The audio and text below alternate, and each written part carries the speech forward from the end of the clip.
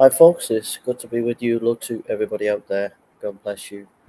I'm doing this just to give me peace of mind. Um, just relaxes my mind. Uh, so that's why I'm doing this.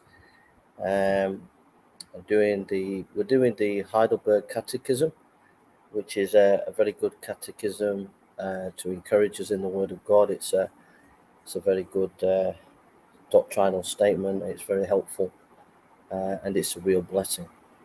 Um, yeah, so I just want to share a few things. Um, today, I rested all day today. I think I was having a bit of a breakdown yesterday.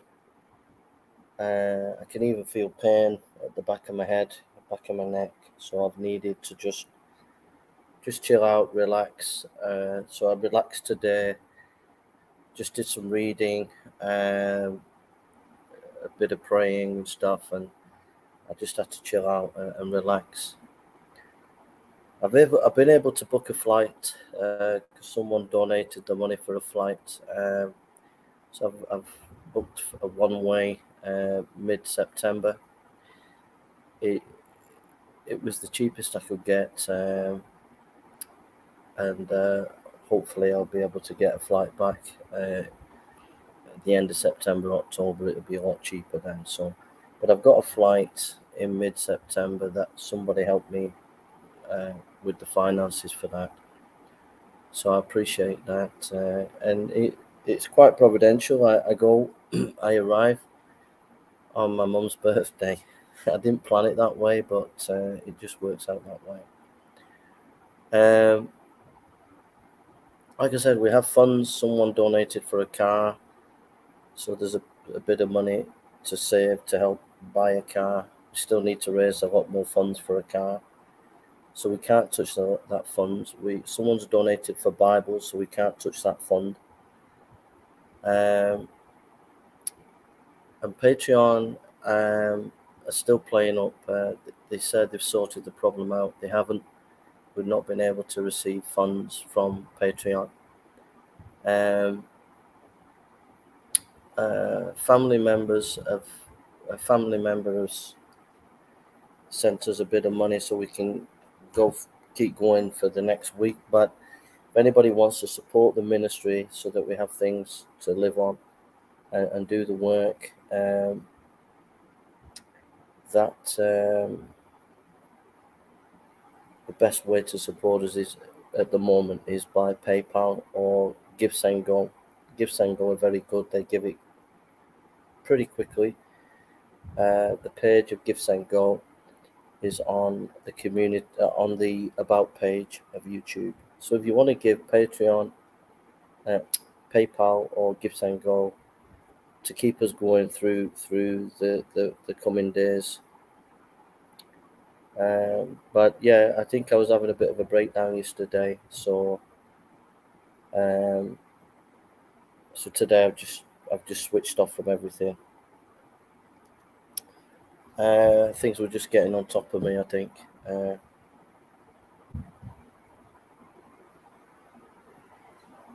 and me and Dorcas are fine. She understood, although it's not an excuse for getting angry and things like that. So, so I thought we'd. Uh, so this afternoon, I was I was just wanting to relax, and uh, on my iPad, uh, I had uh, a book of the Heidelberg Catechism, and I just read a chapter, and it just blessed me. It just really encouraged me. So I thought we'd go through some of it today, and I just thought it might edify you, it might encourage you, and it might bless you. There's so much going on today that's crazy. Uh, we, we just need to be in, in good things that, that build us up. So so again, if you want to support us, go to GiveSendGo. You can go on the About page or PayPal. Pray that Patreon gets the right sorted because we have we have about uh, over a thousand dollars in Patreon that we can't access at the moment. If we could access that, we could do a lot of things, but we can't access it at the moment. So it's put it's put a lot of strain on the ministry, on the house. Um, but we're okay. We we have something to to, to, to get on with ministry for the next few days. Um, I'll probably get some Bibles this week because some money was donated for that. So we'll get some Bibles this week. Um, and also, um, we'll probably help the prison. The prisoners are starving, apparently. They're, they're not getting fed.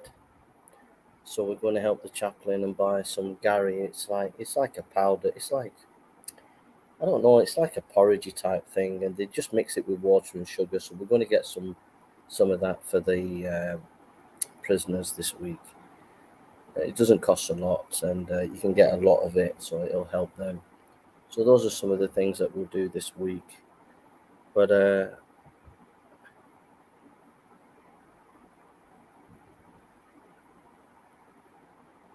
thanks, John.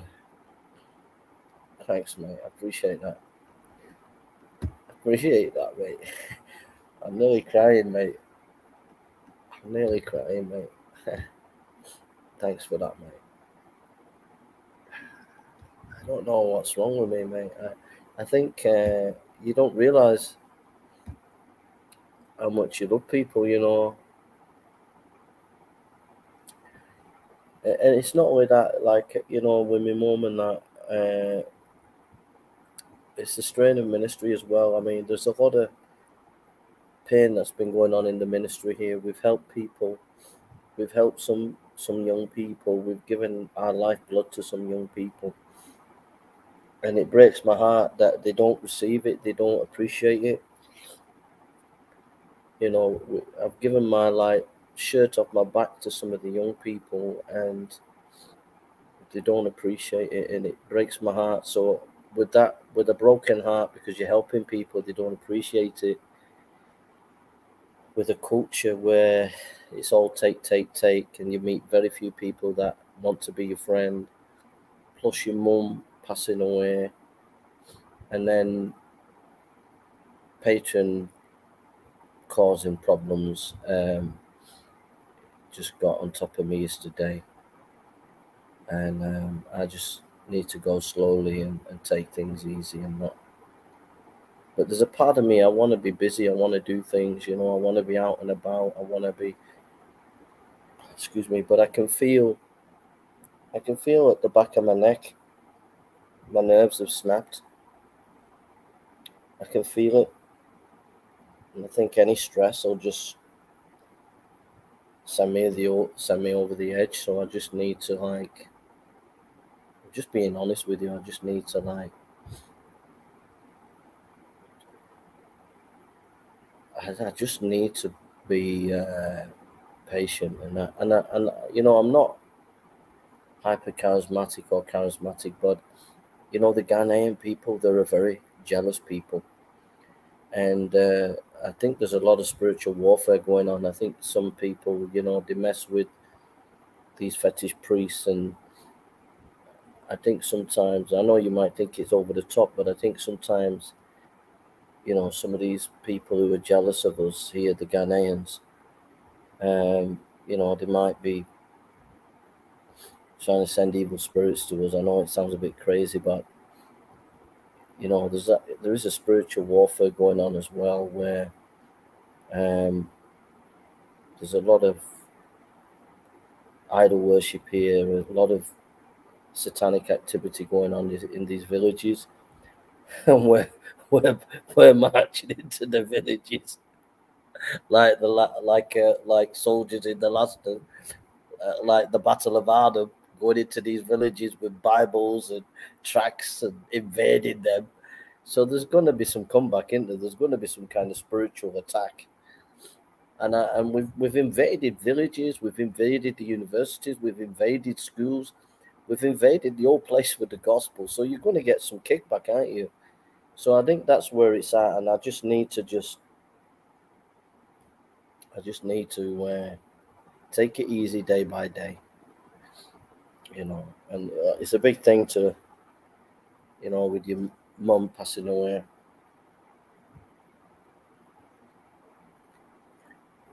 So so without further ado, this I think this will edify us. If anybody wants to come on and enjoy this time together. The live stream is there. It's not for debate or argument. It, it, we're going to go through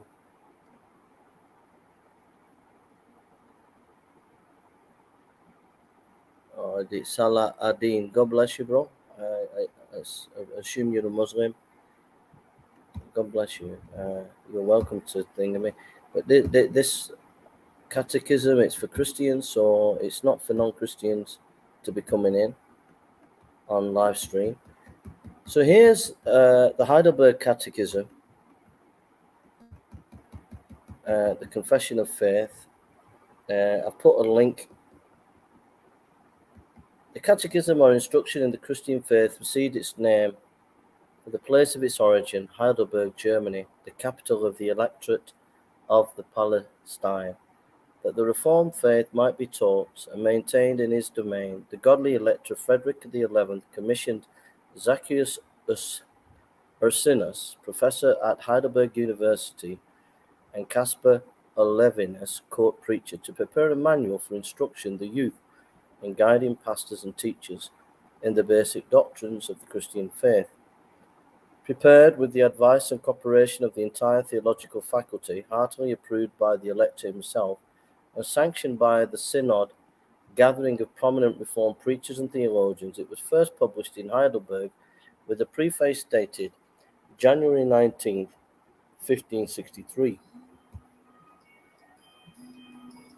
Sorry, I just just give me a second, yeah.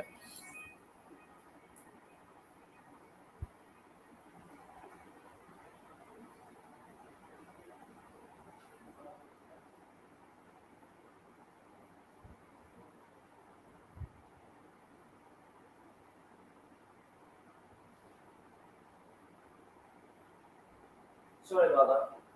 Sorry, sorry, sorry. There's someone on the phone. So, the Great Synod of Dort. Sorry, someone was phoning. I let my wife deal with it. the Great Synod of Dort, 1618 to 1619, declared that the Heidelberg Catechism was, in all respects, in harmony with the Word of God and it required office bearers to subscribe to it. So, there we are. So that's a little bit about the Heidelberg Catechism. So now we're going to go through it. So so here's the link. Here's the link. Yeah. I'm I'm live, dear, so don't come near. I don't want my wife likes her privacy. She doesn't want to be on uh,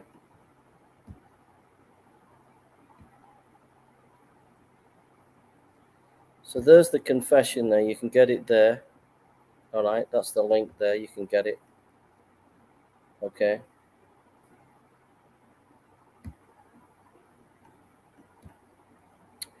Hi, Sam. God bless you, bro. So the, there's a live link there if anybody wants to come on. As I read the, the catechism, we're just going to meditate.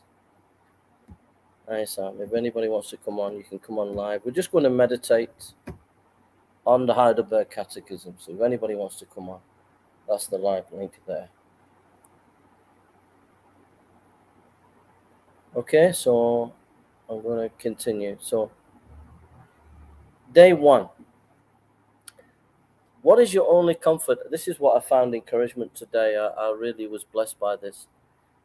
What is your only comfort in life and death? That I, with the body and soul, both in life and death, I am not my own, but belong to my faithful Saviour Jesus Christ, who with his precious blood has fully satisfied for all my sins and redeemed me from all the power of the devil, and so preserved me that without the will of my Father in heaven, not a hair can fall from my head, indeed, that all things must work together for my salvation, whereby the Holy Spirit has assured me of eternal life, and makes me heartily, willingly ready from now on to live unto him. Let's pray. Father, we just praise you and thank you for this day. And I just pray that as we meditate on this catechism, it will bless us and encourage us in Jesus' name. Amen. So the scriptures here, you know, uh, I'll just read a couple of them. Uh, Romans 14. Romans 14, uh, 7 and 8. Romans 14, 7 and 8.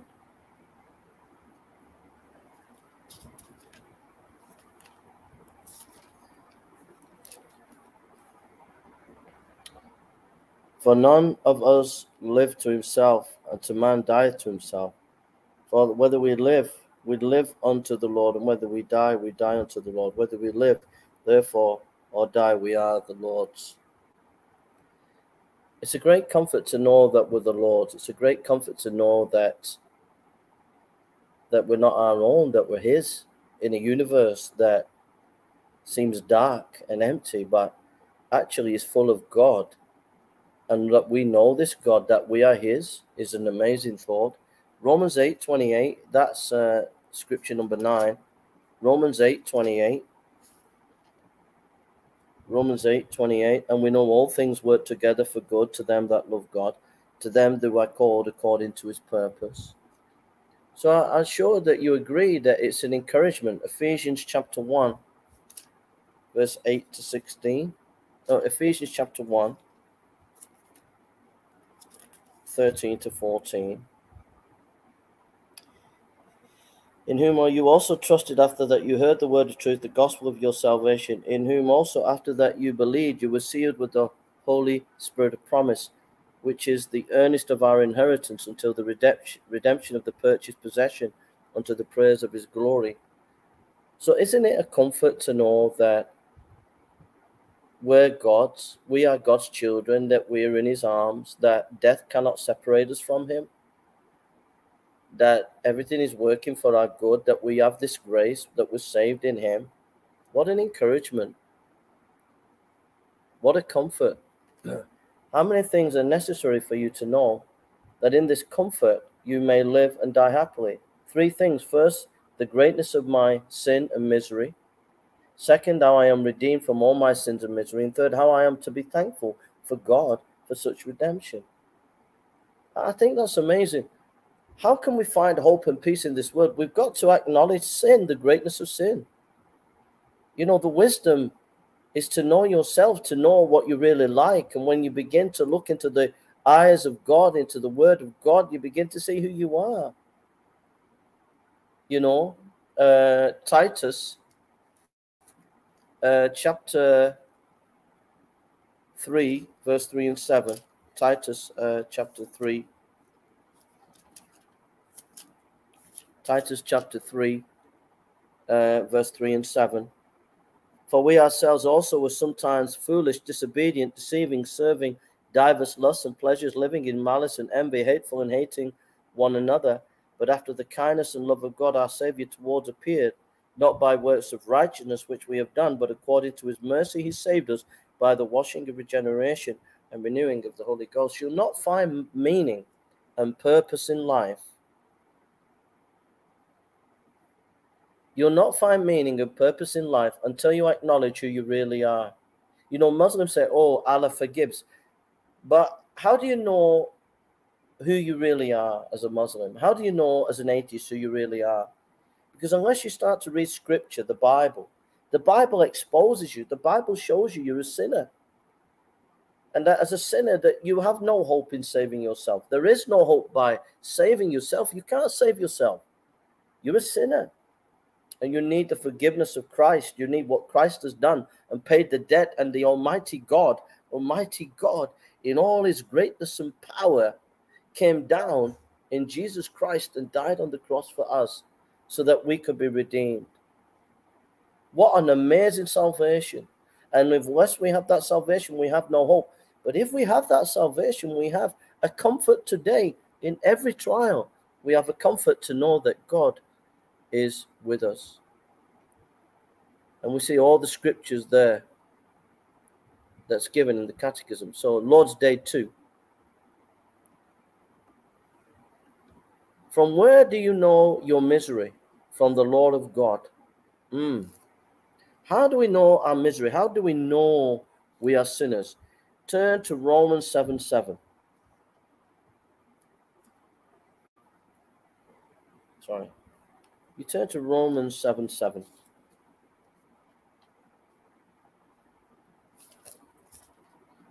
Romans uh, 7 7. How do you know that you are a sinner? Turn to Romans 7 7. What shall we say then? Is the law sin? God forbid. Nay, I had not known sin, but by the law, for I had not known lust, except the law had said, Thou shalt not covet. The Ten Commandments are important because the Ten Commandments expose our sin. Okay? The Ten Commandments expose our sin. Do not lie, do not steal, do not commit adultery. They expose us. What does the law of God require of us? Christ teaches us in Matthew 22 You shall love the Lord your God with all your heart, with all your soul, with all your mind. First and great commandment. And the second is like it you shall love your neighbor as yourself. Of these two commandments hang all the law of the prophets. Let's not get sidetracked by all the many things that are happening in our life. So many things are happening in the world today, and so many things in politics, culture, economics. But let's not get sidetracked from the main thing. We are to love God and our neighbor as ourselves. Uh, turn to uh, Luke chapter 10, verse 27. It's one of the scriptures there. Luke, Luke uh, chapter 10, verse 27 we read, And he said, Thou shalt love the Lord thy God with all thy heart, with all thy soul, with all thy strength, and with all thy mind, and thy neighbor as thyself. And he said unto him, Thou hast answered right, this do, and thou shalt live. Our Lord said, This do, and thou shalt live. That is to love God and our neighbor. We can get sidetracked by so many things today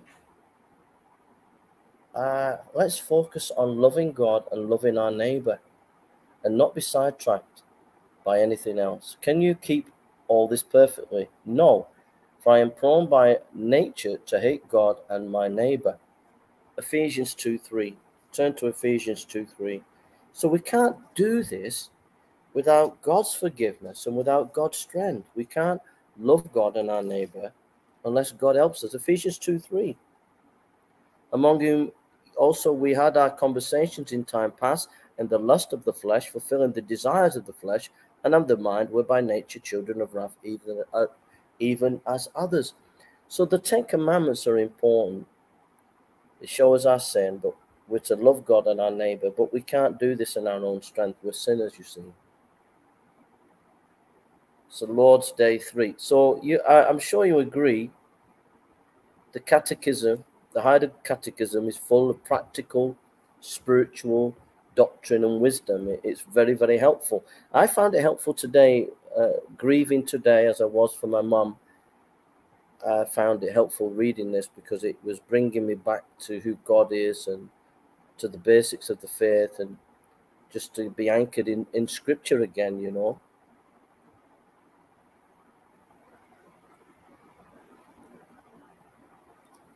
So this is gospel truth. So I hope you're encouraged and your faith is nourished on scripture here. Uh, day, Lord's Day 3. Did God create man thus wicked and perverse? No. But God created man good after his own image, that is, in righteousness and true holiness, that he might rightly know God, his creator, heart creator, heartily love him, and live with him in eternal blessedness to praise and glorify him. So God made man humans Adam and Eve good. You know, he, he made sorry about this.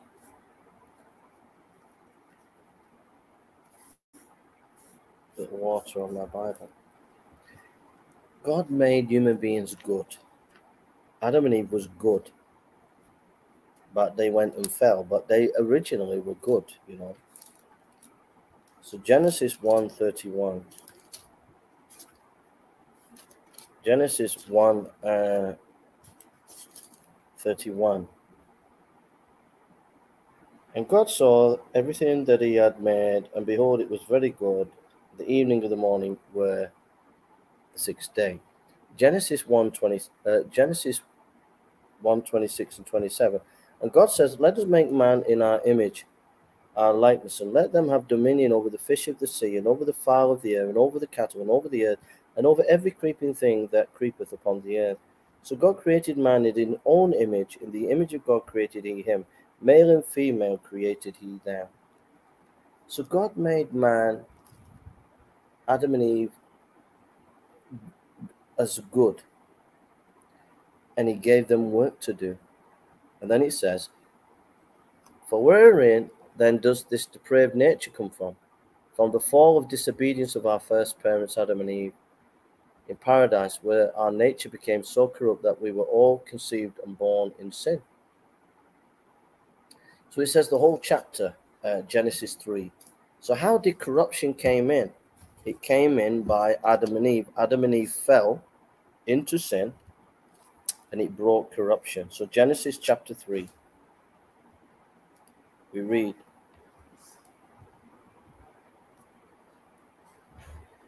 Now the serpent was more subtle. I think it might be raining outside. Now the serpent was more subtle than any beast of the field which the Lord God had made.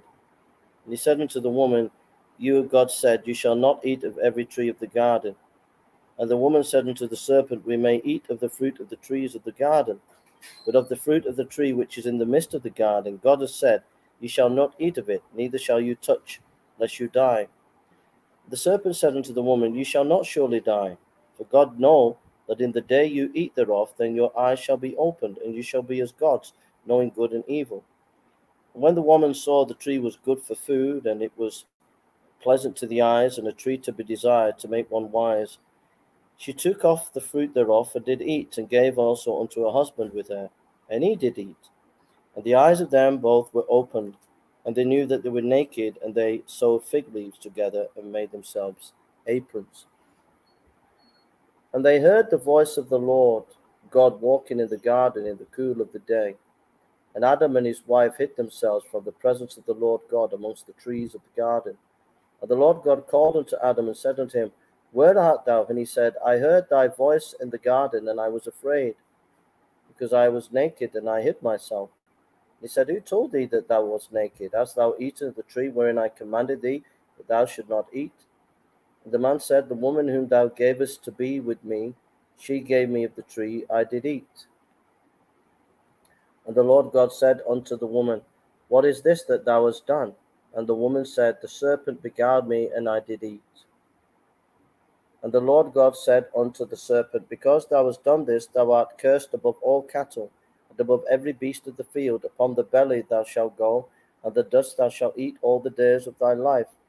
And I will put enmity between thee and the woman, and between thy seed and her seed. It shall bruise thy head, and thou shalt bruise his heel. Unto the woman he said, I will greatly multiply thy sorrow and thy conception in sorrow. Thou shalt bring forth children, and thy desire shall be to thy husband, and he shall rule over thee. Thus Adam, he said, Because thou hast hearkened unto the voice and unto Adam he said, Because thou hast hearkened unto the voice of thy wife, and hast eaten of the tree of which I commanded thee, saying, Thou shalt not eat of it, cursed is the ground um, for thy sake in sorrow shalt thou eat of all the days of thy life. Thorns and also thistles shall it bring forth to thee. Thou shalt eat herb of the field. In the sweat of thy face thou shalt eat bread till you return unto the ground, for out of the waste thou taken, for dust thou art, and unto dust shalt thou return. And Adam called his wife name Eve, because she was the mother of all living. Unto Adam also, and to his wife, did the Lord God make coats of skin and clothe them. The Lord God said, Behold, the man is become as one of us, to know good and evil. And now, lest he put forth his hand to take also of the tree of life and eat and live forever. Therefore the Lord God sent him forth from the Garden of Eden to till the ground from whence he was taken. So he drove out the man, and he placed at the east of the Garden of Eden cherubims and flaming sword, which turned every one away, every every way, to keep the way of the tree of life. So here,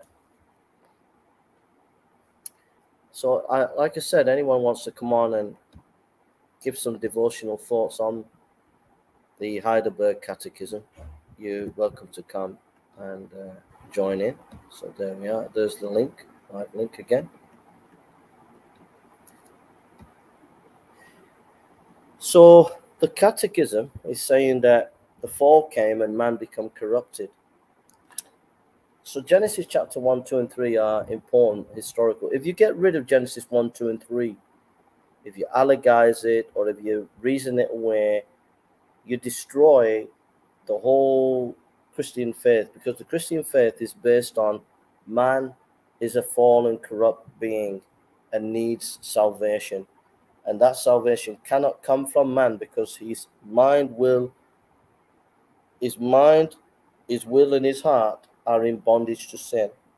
And God has come in Jesus Christ to die for us and to bring us back, excuse me, into communion with God and salvation. And the fall is proven historically. You look at the history of mankind with all the murders, rapes, and all the wars, you can see man is corrupt and needs salvation, needs Jesus Christ. Man cannot save himself. We cannot save ourselves by religion. We need we need redemption because man's fall is massive. But we are so depraved, it says in the confession, that we are completely incapable. But are we so depraved that we are completely incapable of any good and prone to all evil? Yes, unless we are born again by the Spirit of God. So to do real good, we need to be born again. To, to really do the work of God, we have to be born again. Turn to Jeremiah 17 9. Jeremiah uh, 17 9. And it says, The heart is deceitful above all things and desperately wicked. Who can know it? Unless the Spirit of God comes in, unless the Spirit of God enters your life, you cannot see the kingdom of God. You cannot live for God. Uh, John 3 6. Turn to John 3 6. We read in John chapter 3, verse 6. That which is born of the flesh is flesh, that which is born of the spirit is spirit. You need to be born of the spirit. Flesh gives birth to flesh, spirit gives birth to spirit. If you want to worship God, God is spirit. So you must be of the Holy Spirit to worship in the spirit. And if you, you cannot do that in the flesh. Do you understand that? That you cannot worship God in the flesh. It's not possible. Flesh gives birth to flesh.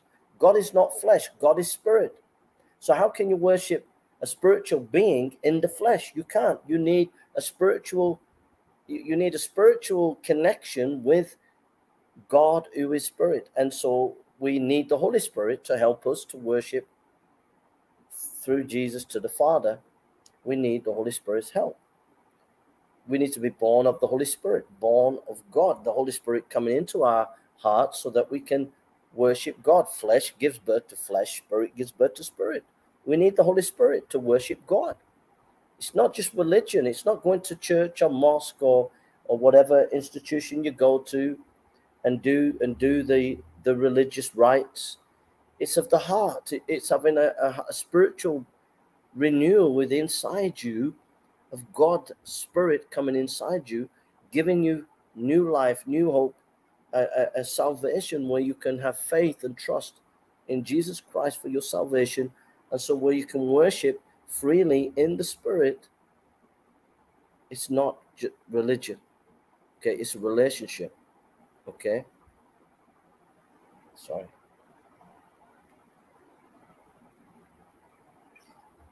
It's not just a religion. It's a relationship.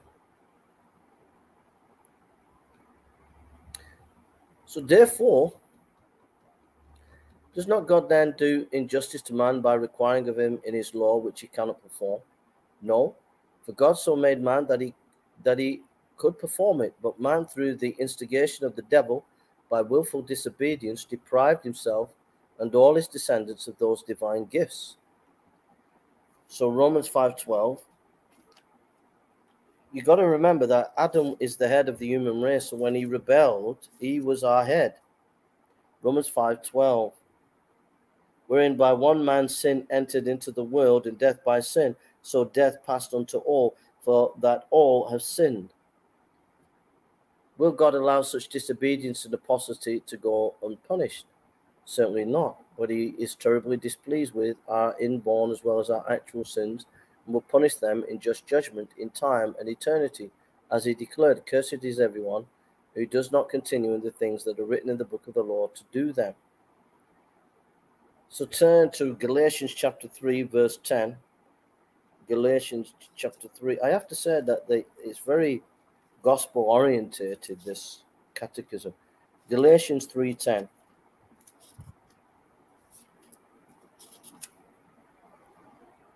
Galatians uh, chapter 3, verse 10. For as many are of the works of the law are under the curse. For it is written, Cursed is everyone that continued not in all things that are written in the book of the law to do them. So God judges us for sinning. He curses those who will not repent and believe in Him. You know. But is not God also merciful? God is indeed merciful, but he is likewise just. His justice therefore requires that sin which is committed against the most high majesty of God be punished with extreme, that is, with everlasting punishment, body and soul. Turn to Revelations 14:11. Revelations 14:11.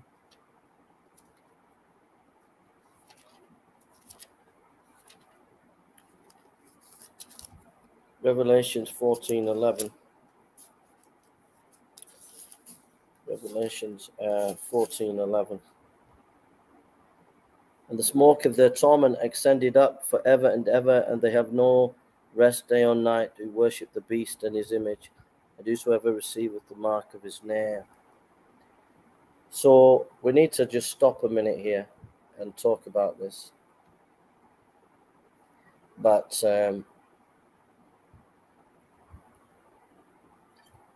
there is a hell. Bible teaches there is a hell. And if we don't believe in Jesus Christ, we go to hell. That's what the Bible teaches. It doesn't matter what I think, it doesn't matter what you think. The Bible is the highest revelation. It is higher than my mind. It is higher than your mind. It is higher than all the great philosophers of all time. It is higher than any religious leader. And the Bible teaches that men and women who do not believe on the Lord Jesus Christ will be in hell. That's what scripture says. And we have to believe all of scripture. We can't just take the bits we like and the bits we don't like. Scripture clearly teaches there's a hell. And we don't need any of this wokeism, this woke ideology or or the alphabet crew coming in with their ideas about what is right, what is wrong. No. The Bible says what's right and wrong. The Bible teaches what's right and wrong because the Bible is the Word of God. And the Bible teaches it there is a hell, there is a judgment. Now, there is a difference between Christianity and Islam here. In Islam, they say that Allah can just forgive because He's merciful. The problem with that is it it miss it misses justice. God is a just God, and He must be seen to be just. He must be seen to be just. He cannot just forgive, he must punish sin. But if he punished you for your sin, you'd be going to hell. So Christ Jesus came and took your judgment, your punishment. He took it upon himself for you. Okay. That is what the Bible teaches. Muslims might come and say, oh, it doesn't make sense, whatever. But that is what the Bible teaches that without the sacrifice of Jesus, you cannot be saved. Now, it goes back to the time of Abraham when Abraham was told to sacrifice his son. And then God provided the ram, a sacrifice instead of Abraham's son. That was pointing to Christ, who was the final sacrifice. The Passover points to Christ. John the Baptist said, Behold the Lamb of God that takes away the sin of the world. So, as Muslims, you see in the Old Testament it points to Christ becoming a sacrifice. There had to be a sacrifice because mankind cannot save himself. And God cannot just forgive, he has to punish sin. He has to be seen to be righteous. If, he, if he's not righteous, his, his mercy means nothing. It's a it's an arbitrary thing that doesn't make sense. I forgive one rapist, but I don't forgive another rapist. That doesn't make sense. It just doesn't make sense. But that God punishes sin, and that he in, instead of punishing you, he took the punishment for you. He's a, he can do that because he, he created the laws, he's the head of the laws, and he is your mediator so he can die for you. He can go to the cross for you and shed his blood for you. And Jesus Christ did that. The Messiah did that for you. And without that sacrifice, you cannot be saved.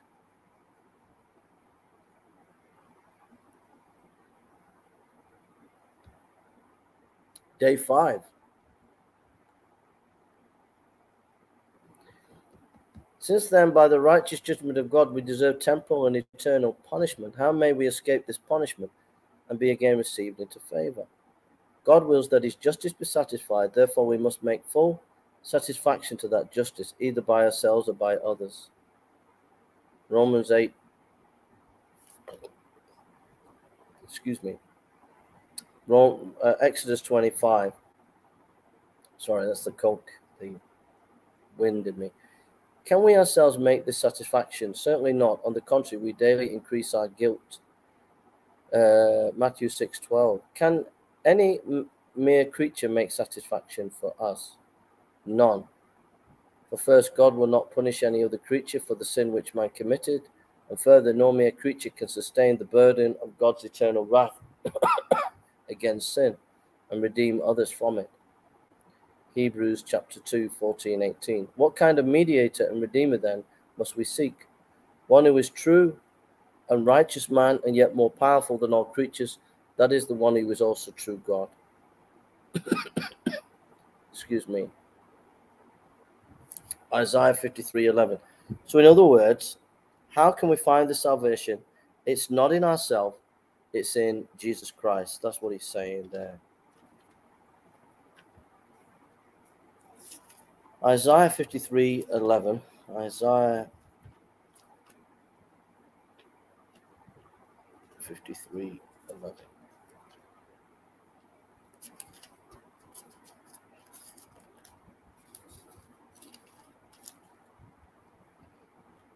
He shall see of the travail of his soul and shall be satisfied by his knowledge.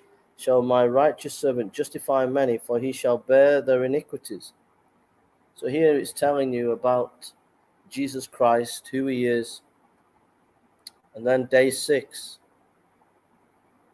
Why must he be a true and righteous man? Because the justice of God requires that the same human nature which is sin should make satisfaction for sin. But one who is himself a sinner cannot satisfy for others. Why must he also be true God?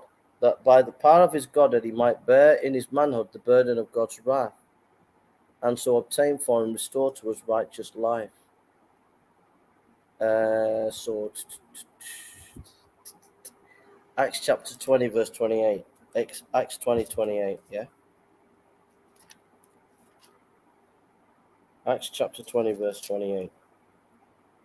Take heed therefore unto yourself and unto the flock over which the Holy Ghost hath made you overseers to feed the church of God, which he hath purchased with his own blood. So God purchased with his own blood our, our salvation. And it goes into the who the mediator is. But who now is that mediator when one person is true God and also true and righteous man? Our Lord Jesus Christ, who is freely given unto us for complete redemption and righteousness. Matthew 1 23, 1 Timothy 3 16. Turn to 1 Timothy uh, 3.16, 1 Timothy 3.16.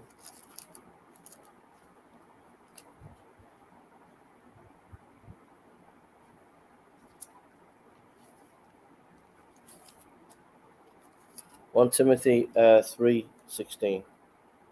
Without controversy, great is the mystery of godliness. God was manifest in the flesh, justified in the spirit, seen of angels, preached unto the Gentiles, believed on in the world, received up into glory. So, as you go into this catechism, it goes into day 16, it goes up to day 25, day 46, and uh,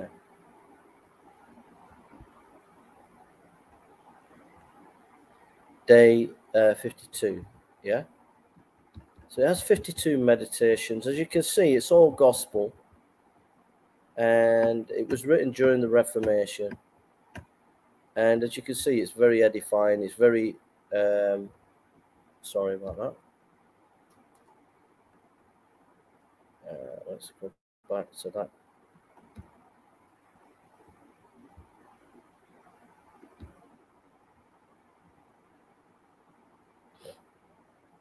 As you can see, uh, it's very uh, edifying, very practical, very gospel orientated. It was written during the Reformation, and uh, yeah, it's a real blessing. And uh, I just thought I'd go through a little bit just to show you this is a, a scriptural resource that will encourage you in the faith, and you can meditate on it every day.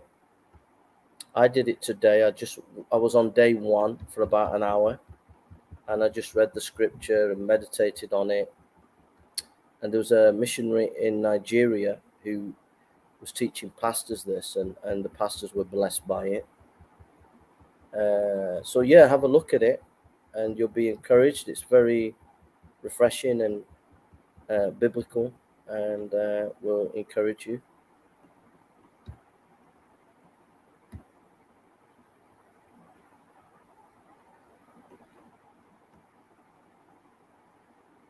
So yeah, so there we are. So I hope that's been uh, an eye opener for you about the Heidelberg Catechism, a resource that you can go and read from the Reformation. Uh, you can read it daily, maybe in the evening when you go into bed, in the morning when you're at work at dinner time. Just read a chapter a day, and uh, it'll bless you. It'll encourage you.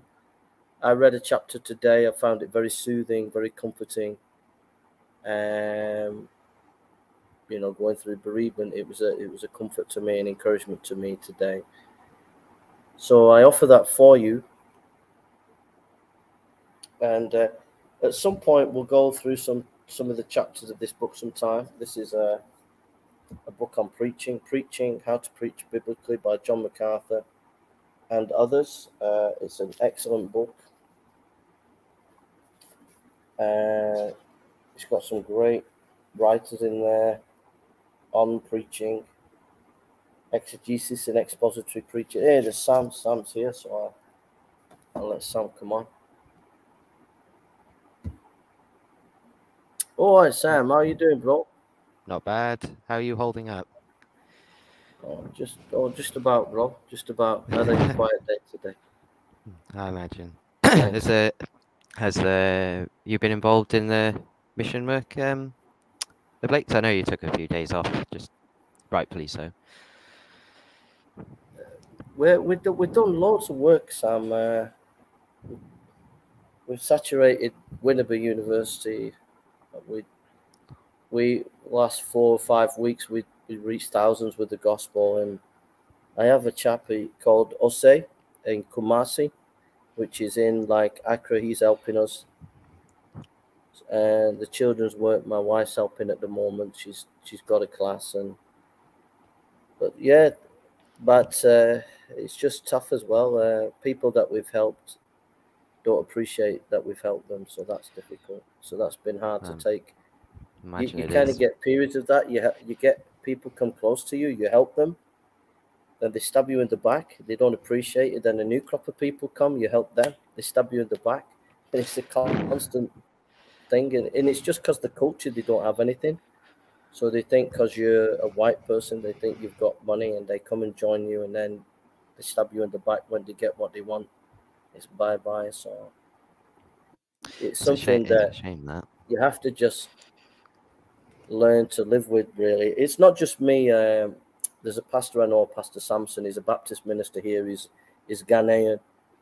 Uh, so it's even with the Ghanaian pastors they, they, those who are true pastors that teach the Bible, even the Ghanaian pastors find the same experience with their own people. It's very difficult. I imagine they. I imagine they do. Um, have you been sort of searching for solace, um, if you like, over the last few days? um, it's a. I noticed. Um, I noticed the bits you read out. I was watching a football game, hence why I didn't come on. but uh, but uh, in regards to, I'd say comfort. I think knowing our place with God is quite important sometimes, mm. isn't it? It puts things mm. into perspective. Um, I was personally unaware of uh, this catechism before you just showed it, but one I'm very familiar with uh, is the Westminster one, and I always like what the first the first question and answer is. It says, "What is the chief and highest end of man? Man's chief and highest end is to glorify God and to enjoy Him forever." Oh you know and uh, it's important to understand like where we stand with god really because that kind of mm. puts your life into better perspective in my opinion and and from that perspective then you can kind of work out sort of where your life's going mm, mm, mm.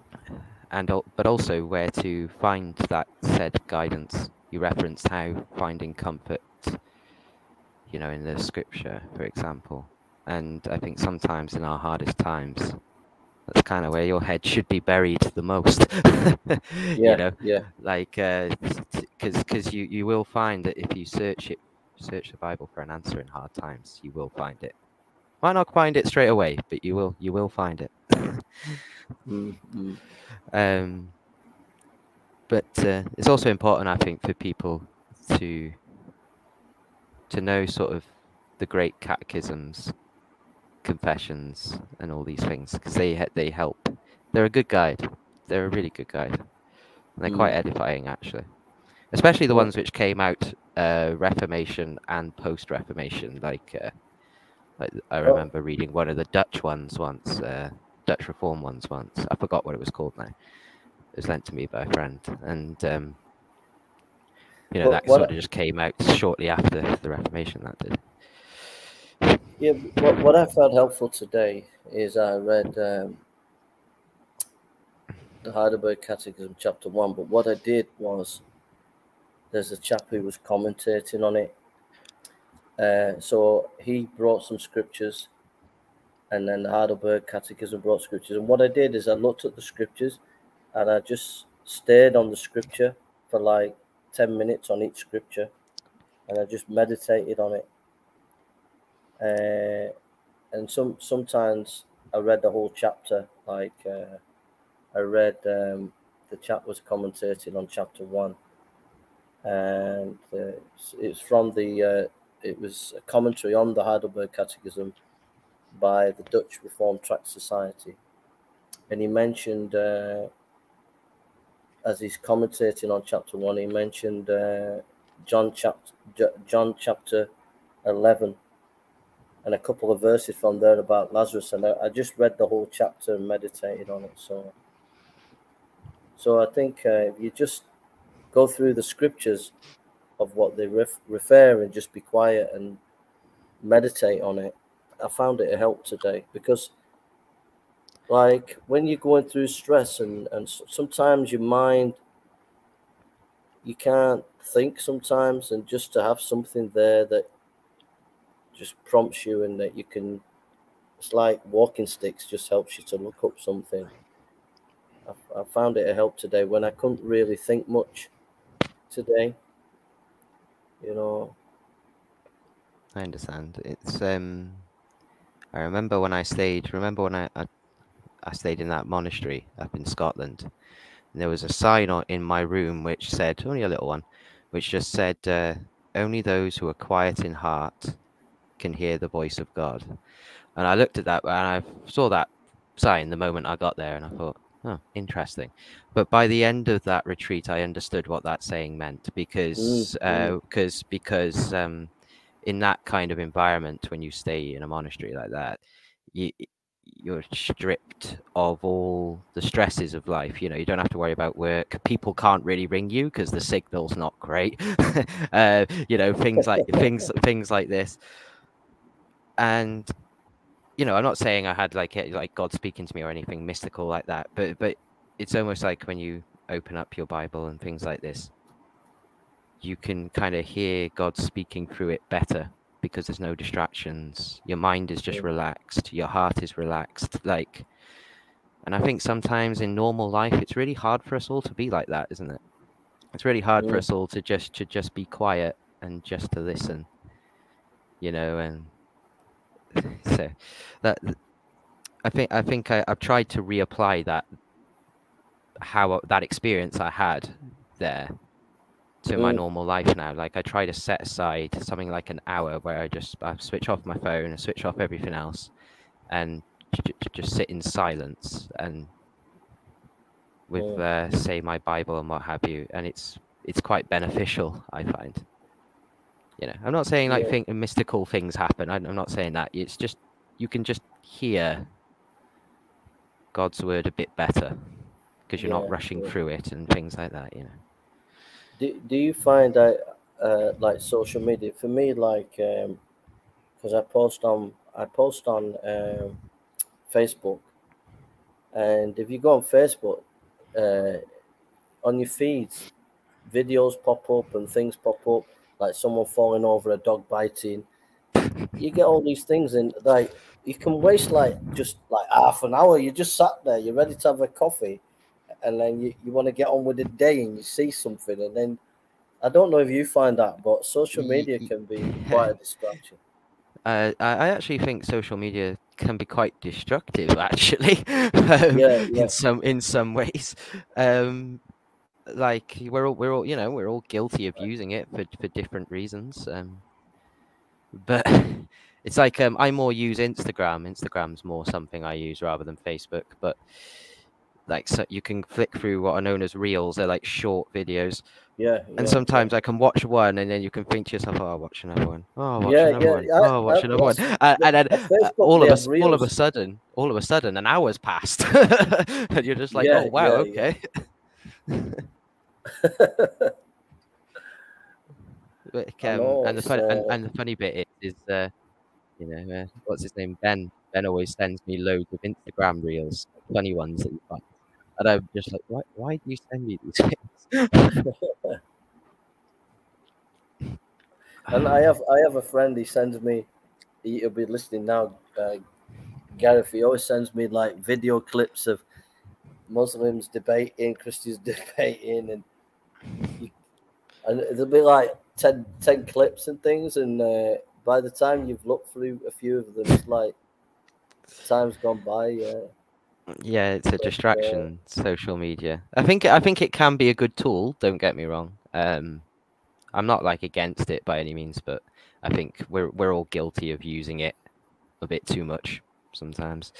Yeah. Um, yeah.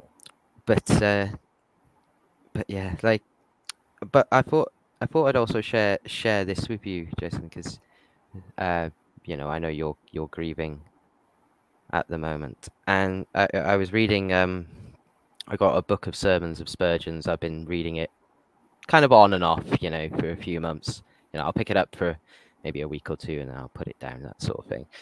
Um, but I read one to, today and it was just called uh, Sim- it was called Simple Salvation and there was a little quote in it which just said which just said a natural heart rebels against the simplicity of the way of salvation. And then yeah. it's sort of and then it goes on i think spurgeon's kind of speaking hypothetically where he just kind of goes am i to just simply accept what christ has already done? Am i to do nothing but to look to him who was nailed to the tree and find all my salvation in him? Yeah. he goes well then says my proud heart i can't understand it. And he goes no it cannot understand it because it does not like it yeah. but this but but this is how simple the way of salvation is. And when I read that, I just thought to myself, yeah, it is that simple actually, in so many ways. Yeah. I think there are too many people out there who try to complicate the gospel sometimes. Yeah, yeah, but it really is as simple sometimes as you just put your faith in Jesus, put your faith in Christ, put your faith in God. Mm-hmm. And yeah, it, it's, it's, it's, it's funny you should say that because today when I read this catechism, and it says, and it was saying that first chapter that we are His, that we are His, we're His possession. I, have always known it, I known it, but it, it really blew my mind to, to, to know that it, it's it's what a comfort to know that we're not our own, that we're saved and we're, we're with the Lord from now until eternity.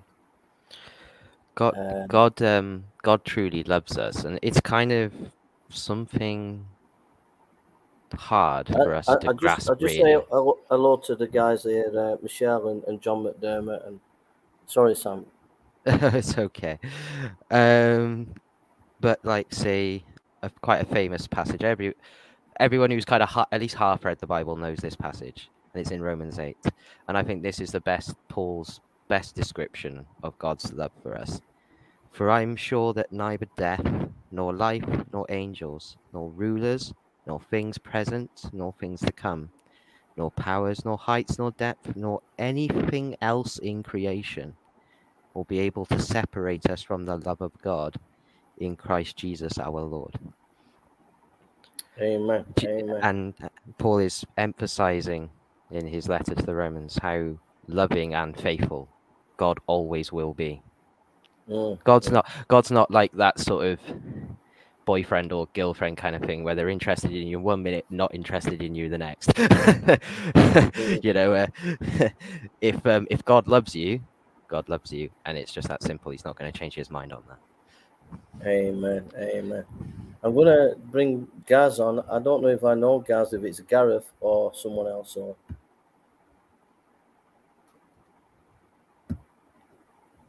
hello, Gaz. Hello, Jason.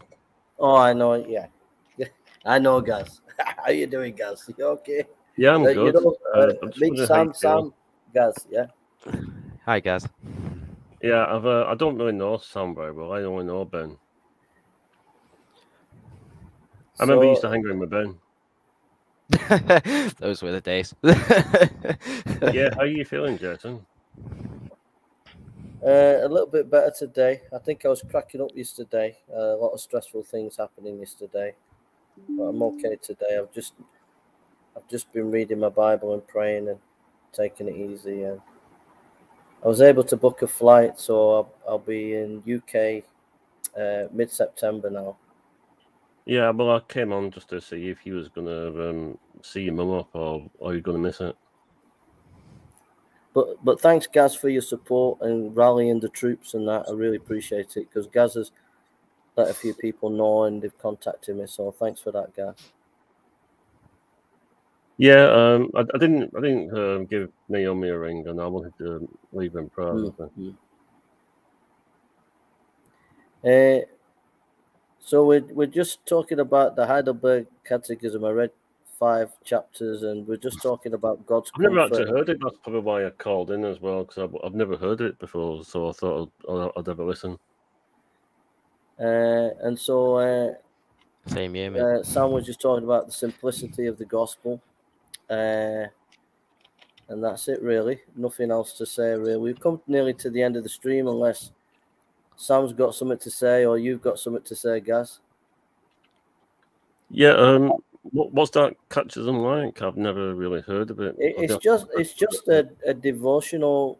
Uh, it's, it's it's it's oriented around the gospel, but it was written by some reformers, um, and it was just basically trying to comfort people in a time of persecution. Um, so that's the main ethos of it, and it's a teaching aid to teach people the basics of the faith. Um, and that's basically the thing. And uh, you know, like the Westminster Confession, the 1689, and some of these other confessions, they they gain some inspiration from the Heidelberg Catechism. Because uh, the the Augsburg the Augsburg Confession's not quite worth looking at as well. Actually, there's the yeah, the Lutheran yeah. the Lutheran one. Yeah. What do you think about uh, Catechism, Sam? What were you rank? Were you read from? What do you think of it?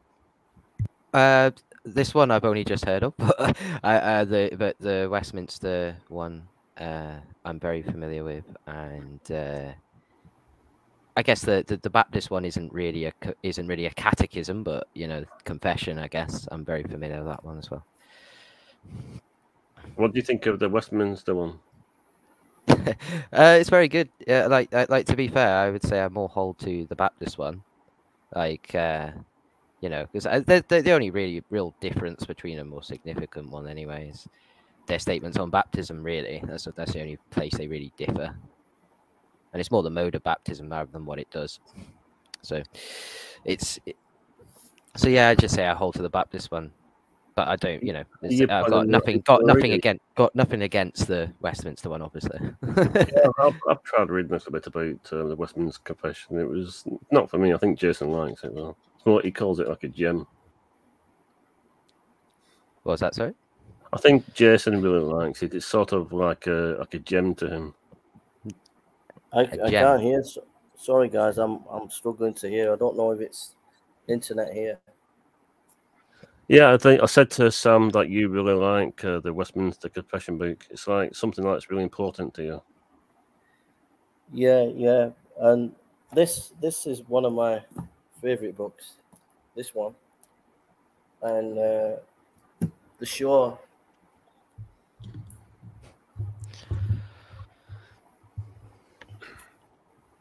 These are two of my favorite books. Shaw's Reformed Confession. Faith. It's an exposition of the Westminster Confession. Yeah. And then uh, this one is What's really that good. one? The 1689 uh, Baptist Confession. What's that one like? Uh, Have you read all of that? It's very easy to read. It's very simple. But this book here, if you get a copy of it, he Waldron uh, expounds it, and uh, it's very, very good. Very, very, very good. You can get the little the little one as well, which has been sort of it's got little Yeah, notes in it by Peter Masters. It is Yeah, Peter Masters, isn't it? The, little Mettab guy. yeah. Yeah, I went down to Speaker's Corner with Mike uh, probably over a year ago, I think, and uh, we actually pulled up outside a piece of the Master's Tabernacle, and he, he took a picture. Really? Yeah, I, I've been. I haven't been to an actual service in there. I've been to the bookshop though. Yeah, that's that. That's the one I got, Jace. That's the one I got. Did some of these books like expand on the Westminster Confession? um, well, say the. To be honest, if you've read the but this confession, the Baptist confession, you've basically read the Westminster one. They're The so only thing I didn't similar. like They're, they're so the- they're the so Westminster similar. Confession book is I didn't like the the, the numbers written in numerals. Roman numerals. Yeah, I couldn't read it. Uh, I got it, but I, I'm, I'm not too keen on that either. I don't understand it half the time. Can you read books with Roman numerals in? I can't read No, no, it's like I got this one. Oh, I can't. Let's see, it's in Roman numerals. them. uh, and I just remember the chap, what the chapters are called, rather than anything else. So, so now we've got Gareth on. We we can just talk a little bit because Gareth, Gareth is like the the uh, he's kind of like he watches the Muslim apologists like I don't know what. So Gareth, what what are the main issues coming out of the Islamic Dawah teams at the moment? Have you got any advice for us? Um, I don't know. I mean, it depends like who who you seem to watch. I mean, I tend to talk a lot on like TikTok and um, Clubhouse. Um, I'm, I'm quite diverse. Uh, Twitter, I'm on there as well. Uh, it depends who you're engaging with, really. I mean, some of them are okay to talk to, and I have done Bible studies with a few of them one on one. Hmm. Yeah, so I kind of like explain a lot. Um, I think it's mainly the Old Testament they don't like. Jay, I saw actually um the other day.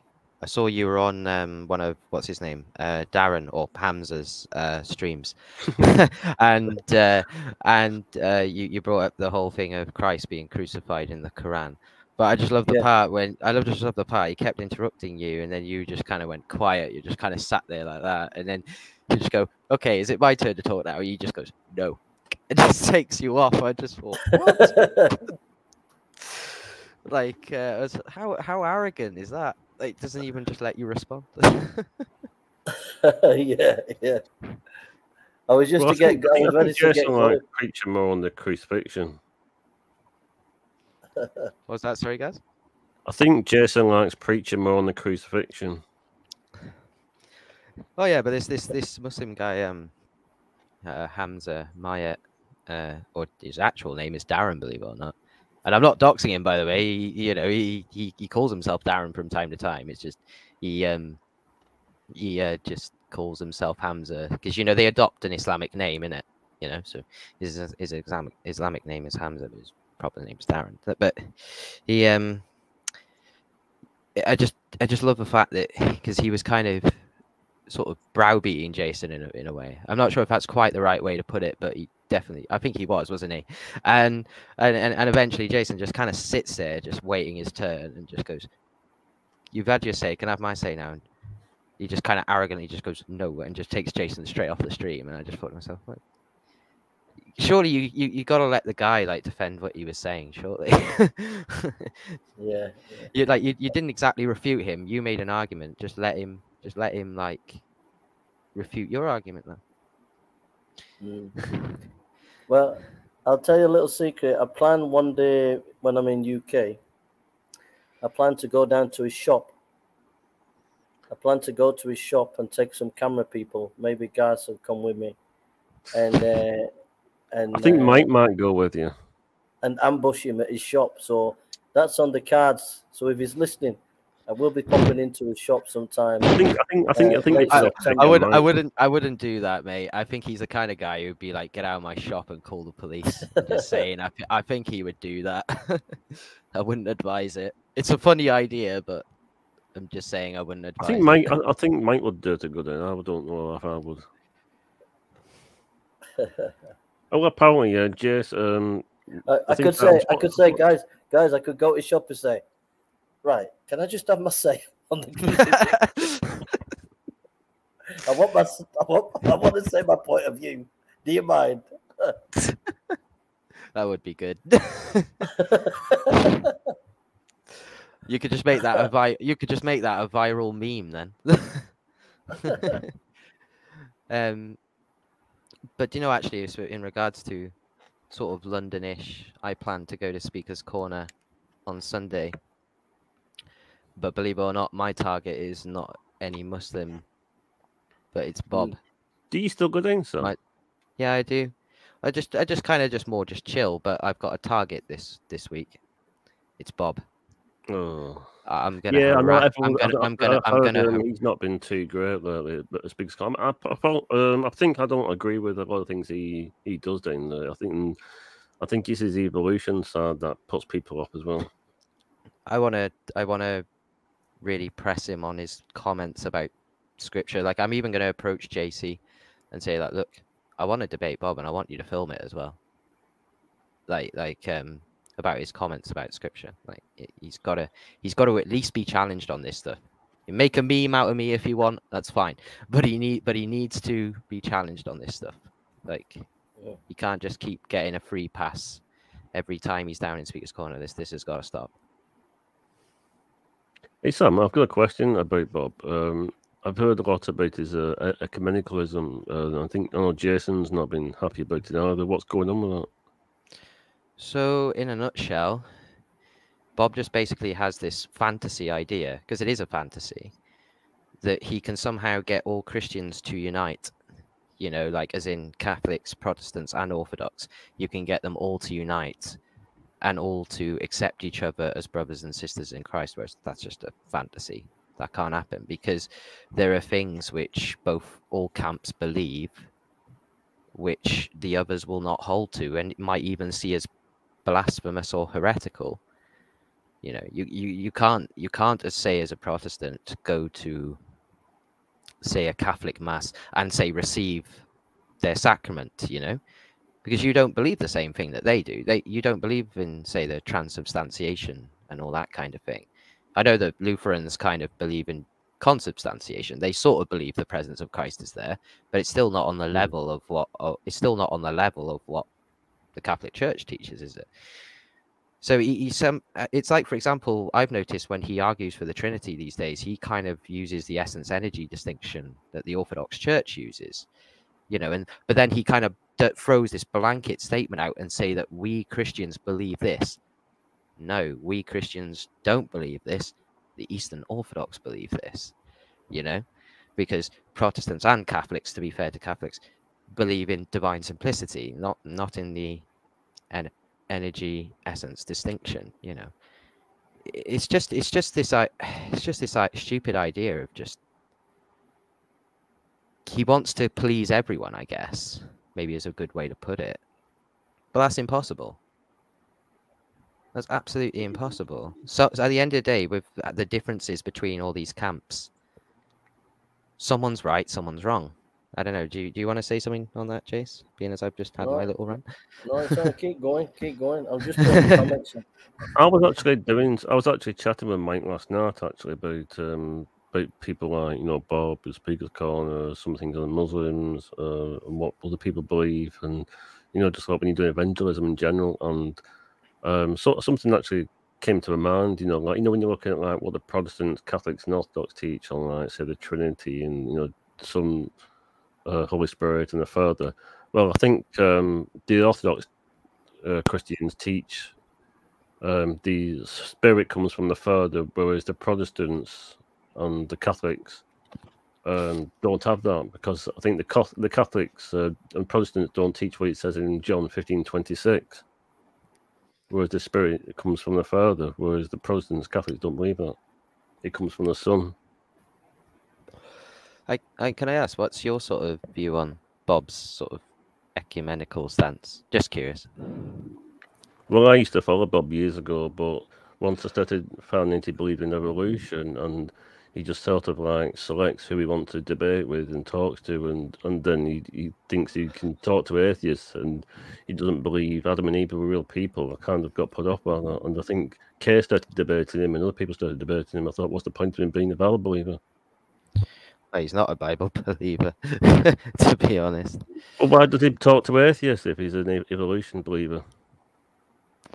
Yeah, no, I agree with you there, but he's not a Bible believer, to be honest. It's like the other day he made a comment saying that uh, the Christian faith is not dependent upon the Bible, it's dependent upon the message of the church. Yeah, well, even when I was an atheist, I didn't believe in what Bob believes in not evolution. No, that's fair enough. I'm just saying. He... Right, if So you got you- any you- comments do on do this, do you Grace, or- agree then if Bob is an evolutionist and he thinks the church didn't take uh, Genesis literal and um, he doesn't believe Adam and Eve are real people, do you think he shouldn't even bother with the Bible at all and he should just be an atheist or something? I I certainly I obviously don't want him to be an atheist, but it is but certainly his position is contradictory. I'll certainly say that, and it and it doesn't really hold any water, because certainly once you believe Adam and Eve were not real people, the entire foundation of Christianity just falls. It just falls completely to the ground. Well, has anybody ever spoken to him about that? A few people have tried. I think Jason being one. Am I right? Yeah, yeah. Tried to talk to him on uh, one occasion, uh, but uh, I stopped trying because uh, he's just so strong-minded. He just, he It was just- that book I gave you, Well, Jason, wasn't it? Do you remember that? Sorry. I gave you a book on evolution. Do you remember that? That was the one you actually. Yeah, uh, yeah. I used that book. That was the book I used on the video that Soko uploaded. I think Bob was angry with the, with him about that video. He was he was actually really angry with him for that because he saw it as like causing division, and it's like no, no, actually because um, I saw a stream of his the other day. So I've been kind of watching a few of his things recently because I I actually want to approach him. I don't want to go with my my guns half loaded if you get what I mean. So I need to kind of brush up on exactly what he what he thinks, what he believes, and like um someone posted what looked like a genuine question about the difference of communion of the saints within uh, Protestantism and within, say, Catholic slash Eastern Orthodoxy. And the first words that came out of his mouth was, "Oh, I think we got someone trying to cause division here." and it's Mm. like, what? And it's like, what? How, how, how? One, this question looks quite genuine for a start, and but secondly, Who care? Who cares? This this person's asking about the differences between, you know, the doctrine of the communion of the saints between these two denominations. Just answer it. Who cares if he's? And I don't think he was even trying to cause division. Yeah. He's just got this weird idea that, like, you know, challenging him on things like annihilationism, because Bob's an annihilationist, uh, or challenging him on things like uh, Adam and Eve, or even challenging him on things like Scripture is causing division. it's not. It's about Yeah. standing for truth. That's what it's about. Yeah, there was a there's a, a couple of stories that illustrate like the importance of unity in different ways. I'll just tell you three stories about about uh, Lloyd Jones, Dr. Lloyd Jones. Um, there was a story that he went to Canada and there's a guy called T.T. Shields. He was a reform guy and he was whacking everybody. He was he was whacking. He, he- was like defending the faith, but everything that came out of his mouth was negative. And Lloyd Jones said, "You know, um, if you keep criticizing everybody like this, you know it's going to do more harm than good. So just keep that in your mind. Just put that one." Then there was an example in the uh, Lloyd Jones was speaking about to the evangelicals in UK, and there were Anglicans there and people from other denominations, and he was basically calling them out of the denomination, saying, "Look, if you keep your denomination keeps compromising the truth, you're going to lose your evangelical doctrines. Like they're going to be undermined." And John Stott, after he finished preaching, he stood up, and it was like a gentle rebuke to Lloyd Jones. He was saying, "No, stay in your denominations." In other words, you know, even though there are bishops that deny the virgin birth, stay in your denominations. And then the last story was at a Banner Truth conference. Lloyd Jones was saying evangelicals need to be united on the fundamentals.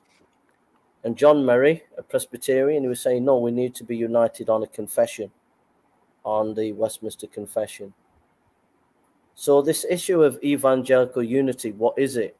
You know, you can be hypercritical. You can then say, on the one hand, you should all agree with us on a confession like the Westminster. But Lloyd Jones took a middle view. He was saying that so long as you hold to the fundamentals, you're my brother and, and sister in, in Christ. Amen. Whereas Bob, he doesn't even hold to the fundamentals. There are fundamentals that he denies, like a fundamental, the, the that the Bible is central to the faith, that that uh, that creation uh, is historical. Genesis one, two, and three is historical. That uh, heaven, uh, that hell is real.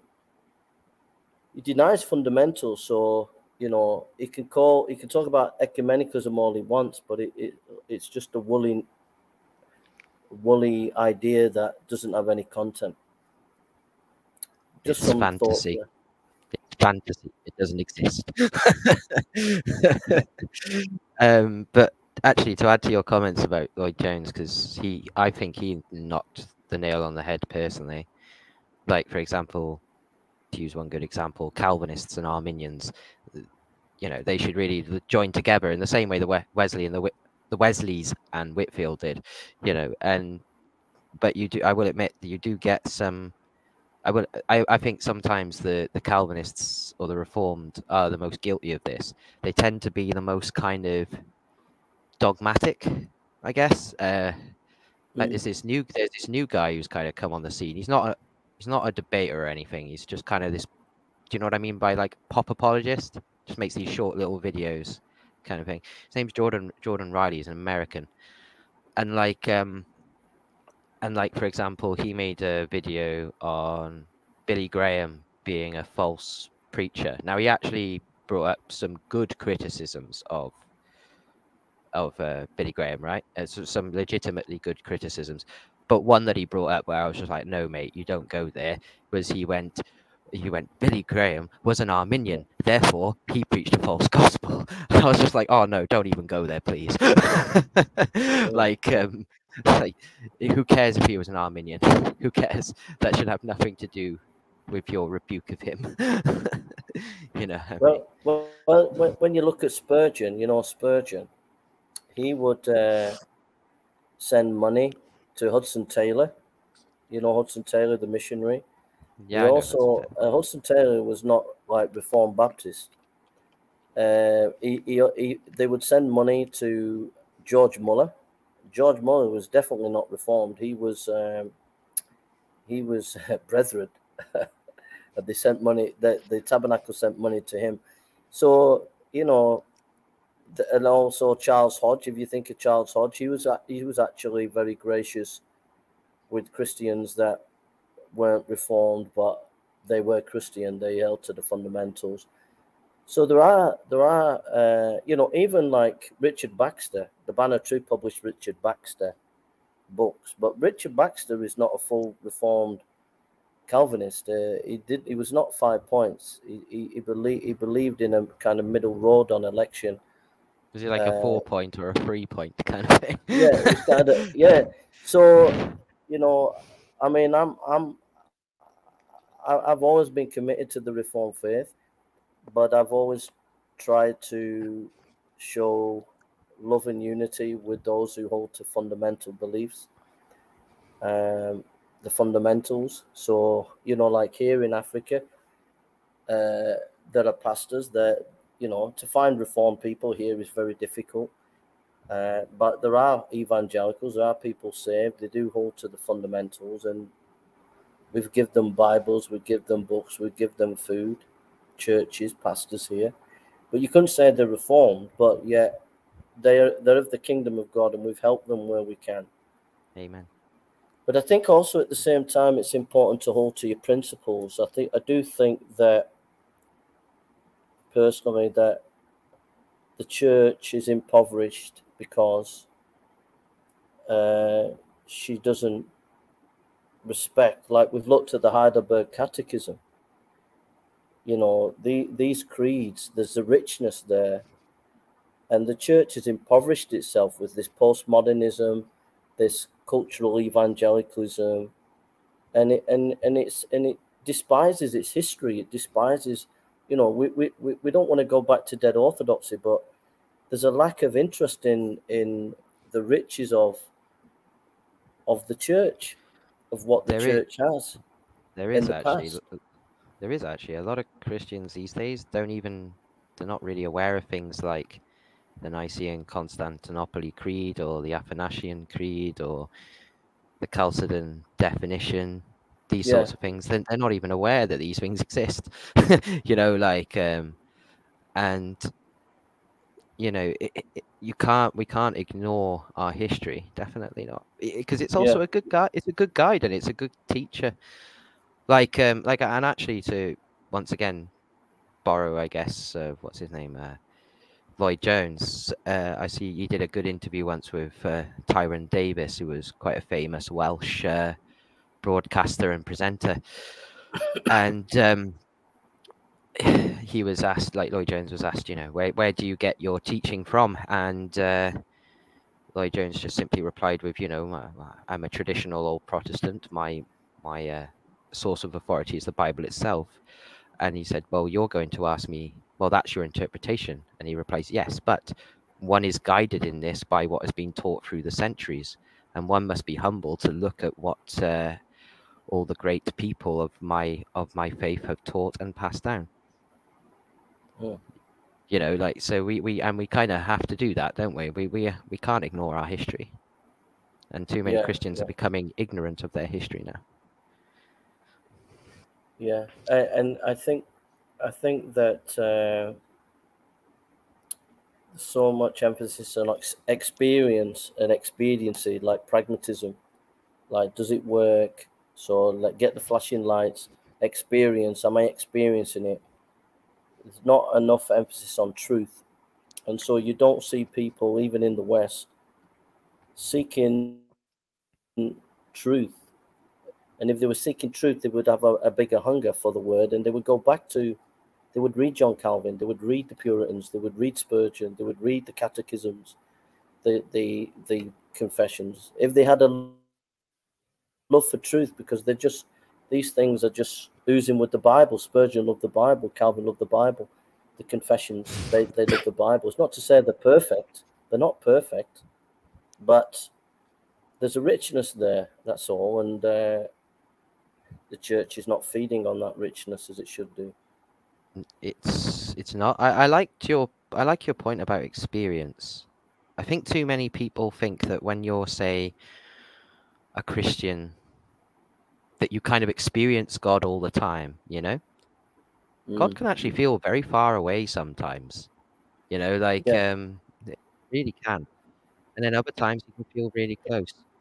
Like um uh actually I just I just want to read something here. It's actually a hymn that an old Baptist Mm. minister wrote.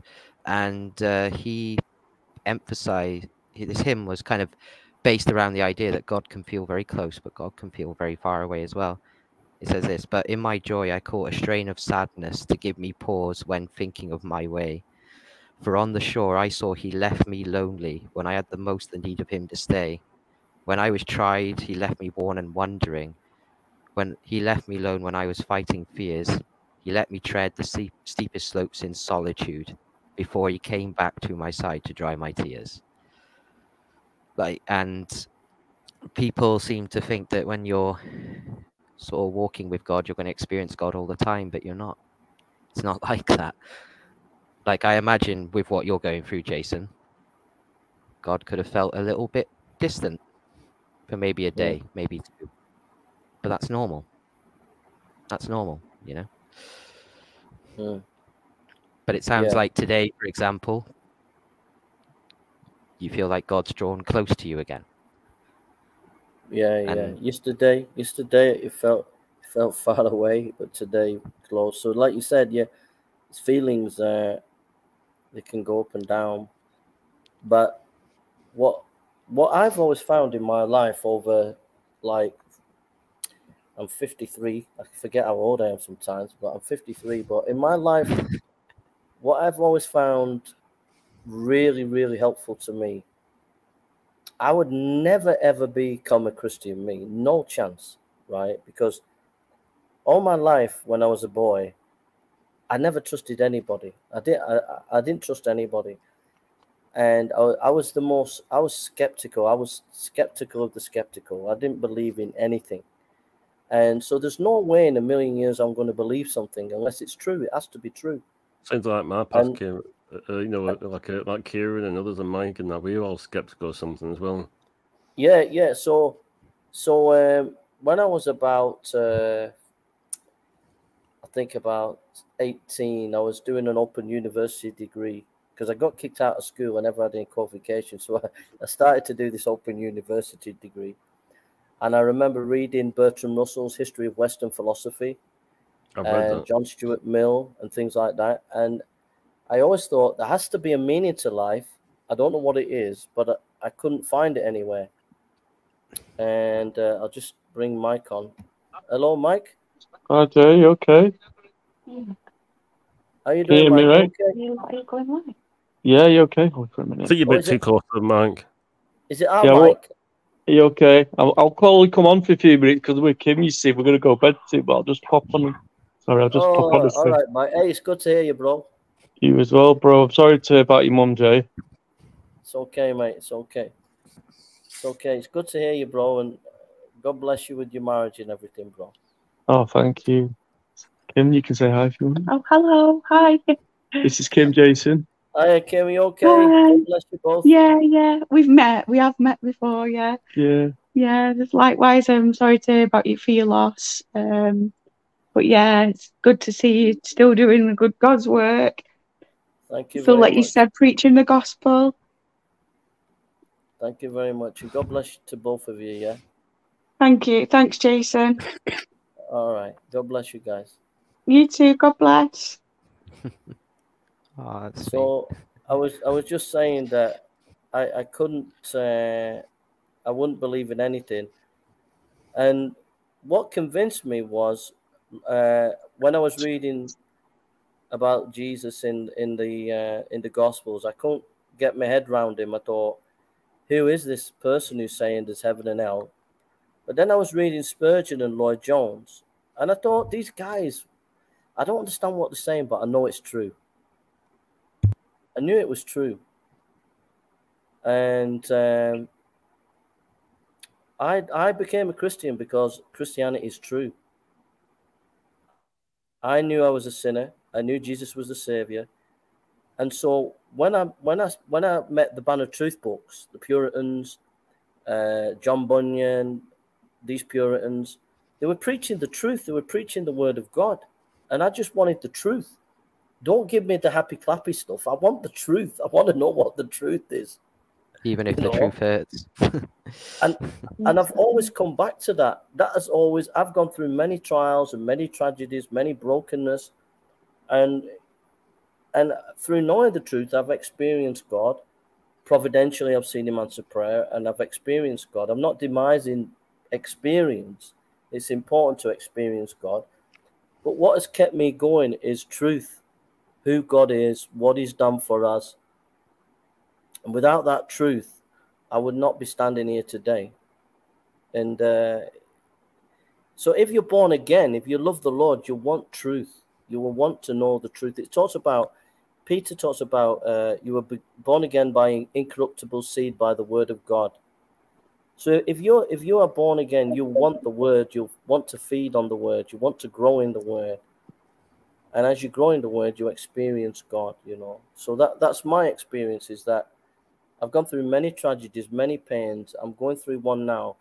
And what what what keeps me going is the truth. I know it's the truth. I know Islam's not the truth. I am will not become a Muslim in a million years. I will not become an atheist in a million years. It's never going to happen because I know what the truth is.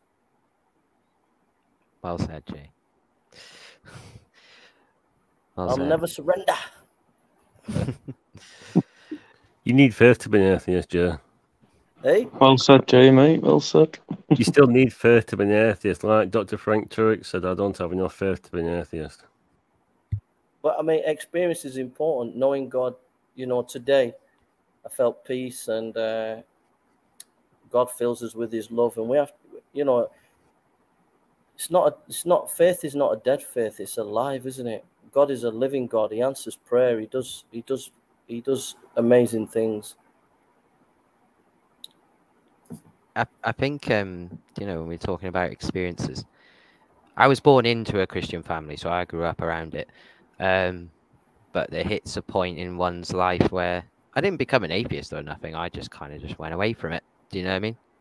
16 years old, party lifestyle. You can read between the lines. you know that sort of that sort of thing. Um, but I remember when I was about 20 years old, I'm a keen fisherman, and I and I was out fishing with my older brother, and I just kind of looked around me and just thought to myself, "There's no chance this world was created by accident or by chance. This, there's no way that happened." so um, I started searching, I guess. But do you know the one thing that finally convinced me was basically the Bible, but was also C.S. Lewis because I was kind of reading Mere Christianity alongside my Bi- uh, Bible that I had had since I was like 10. Do you know what I mean? Like, um, and it was this quote here I'm trying here to prevent anyone from saying the really foolish thing that people often try to say about him, him being Jesus. I am ready to accept Jesus as a great moral teacher, but I do not accept his claim to be God. That is the one thing we must not say. A man who is merely a man cannot say the sort of things Jesus said. Would not a great moral teacher, he would either be a lunatic on the level of a man who says he is a poached egg, or he would be the devil of hell himself. You must make your choice. Either this man was and is the Son of God, or else a madman, or something even worse. You can shut him up for a fool, and you can spit at him and kill him as a demon, or you can even fall at his feet and call him Lord and God. But let us not come to, with any patronizing nonsense about him being a great human teacher. He has not left that open for us, and he never intended to. Wow. And I remember, and I remember le- reading that alongside my Bible, and I just kind of went, "This is all true, isn't it?" And that was it. Wow. And that was it. That was it. that was it. it. That that was the moment, kind of thing. Amen. What what what about you, Mike? When did you believe? 2012. I've been a Christian for since then. Wow, wow. You've been a been a bad believer as long as I have. Yeah, but prior to that, I was seeking and I looked at other things. I even went to a Muslim gathering just to because I got asked to go, and I, it was the worst day of my life. And then a week later, I went to the church and I experienced God, and it's like this is what I'm looking for.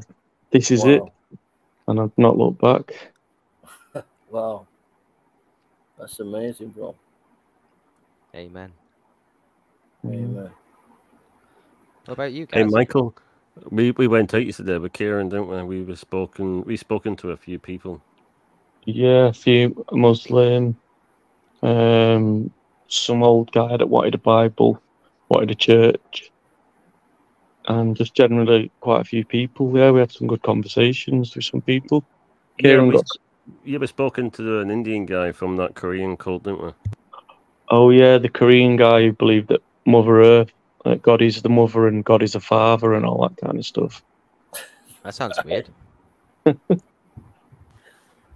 yeah, the Indian guy I've spoken to, and we I carried on the conversation while Mike and Kieran was talking to others, and uh, this guy said um, he came from a Hindu family, but he didn't believe in it. Then he tried a Roman Catholic church for a while, and then sort of disappeared from faith for a bit, and then he ended up somewhere in this Korean cult, and then he said um, he believes uh, the the Bible revealed that he's um, that he's in the right church, and God got married to this woman, and so on. And then there's prophets and all this kind, of, all the kind of stuff. Yeah, and was debating the Sabbath as well. He kept saying that you need the Sabbath to, to get salvation, and he never once mentioned the cross. He just said, "Oh, just believe in the Sabbath, keep the Feast of Tabernacles, and all that kind of stuff, and you'll be fine." And it's like works salvation. It's like salvation plus works that he was adding. You know, I was guilty of that once. When, to be fair, when I was part of the Catholic Church, so I think we all- we all make mistakes. oh, definitely, yeah. That's uh, it's just reading the, getting to know the Bible, isn't it, and then realizing where you've gone wrong a bit. I'm I'm actually I'm actually a big believer now that when you if you actually open up the Bible and truly read it sincerely, you will not you will well you will either not become a Catholic or if you were like me and became one, you will leave it. either which one. That's uh, it's just the pure word of God, isn't it? And anything that teaches otherwise, you have to just like stand against it and just stick up for the truth, isn't it? Well, Jason knows the- that well, don't you, Jay? Yeah. stand up for the truth, lad. Well, think, well, think of all the square pegs in round holes you have to fit with Catholic theology into the Bible, man. That's it, yeah. That's it, yeah. The uh, Okay. we spoke. Sorry, go on, Jay. Sorry. Come on, mate. No, speak, bro. You, you, it's all Me and Kieran- bro. Uh, me and Kieran spoke to this Muslim guy as well, and he kept quoting this passage in the Bible where it says, "No one," he says, "Why do you call me good? The only one that is good is God." And he was arguing, saying that Jesus can't be God because he said the only one that is good is God. And I said, "Well, keep reading the passage because at the end of it, Jesus says, "Come and follow me." And then I explained to him that the reason Jesus said only God is good is because we're Trinitarians and that Jesus was Jesus and the Father have always existed in glory before the world began. So Jesus and the Father are one, and that just matches up with Trinity um, belief, basically. And then I quoted Hebrews to him where it says, where the Son says to the Father, you, you know, you're you you've got a scepter of righteousness. God, your God, is speak is speaking, and God the Father is calling Jesus God, basically. And I was showing him these scriptures, and he was like, he wasn't having it, but I showed it him anyway, just to try and link the dots up for him so he could understand a bit more. Mm, mm, So it's just that kind of conversation that was having with him. mm. Wow, And then he-.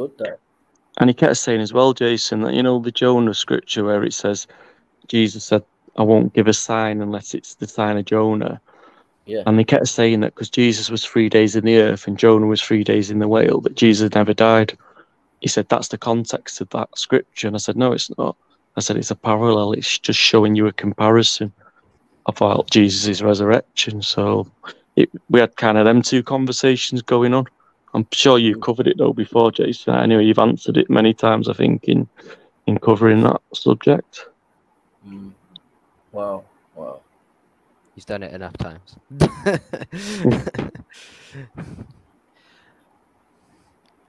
Wow, well, it's good to hear you, Mike. I haven't heard you for ages. It's like I've lost my long lost brother. I'm still here, bro. Just been uh, otherwise engaged. Married life. That's it. That's it. Yeah. Um, we'll have to. Sorry, I like, on. the ter- I like the term of words you used there. Otherwise engaged. That's good. Um, yeah, I'll be I'll be in God willing UK ra- round about. I can't give the date here because we have Yeah. enemies that you know like. You never Yeah, know fair them. enough. But mid, m- round about mid, I'll tell Gareth and he, he can po- pass it on to you. yeah, Mid- sure, no problem. you know. Yeah, we're thinking of going Speaker's Corner again, Jay, me, Gareth, and Kieran, and Wow. come along. wow. You're more than welcome when- to come along. When when you're going? Do you any ideas? Thinking of beginning of September time. Okay, okay. So If you if you do a, an extra trip at the end of September, I can come with you as well. If you do another one. yeah, sure, no problem. Yeah, Can I join the band? of course Yeah, you can. Yeah, come along, come along, come along. The more the Hey merrier. Sam, I've got a question for you. Um, have you heard anything from Ben? Because I've asked people and nobody seems to know anything about about, about where he is. Uh, in a nutsh- in a nutshell, he's just not interested in apologetics anymore. Is he not really?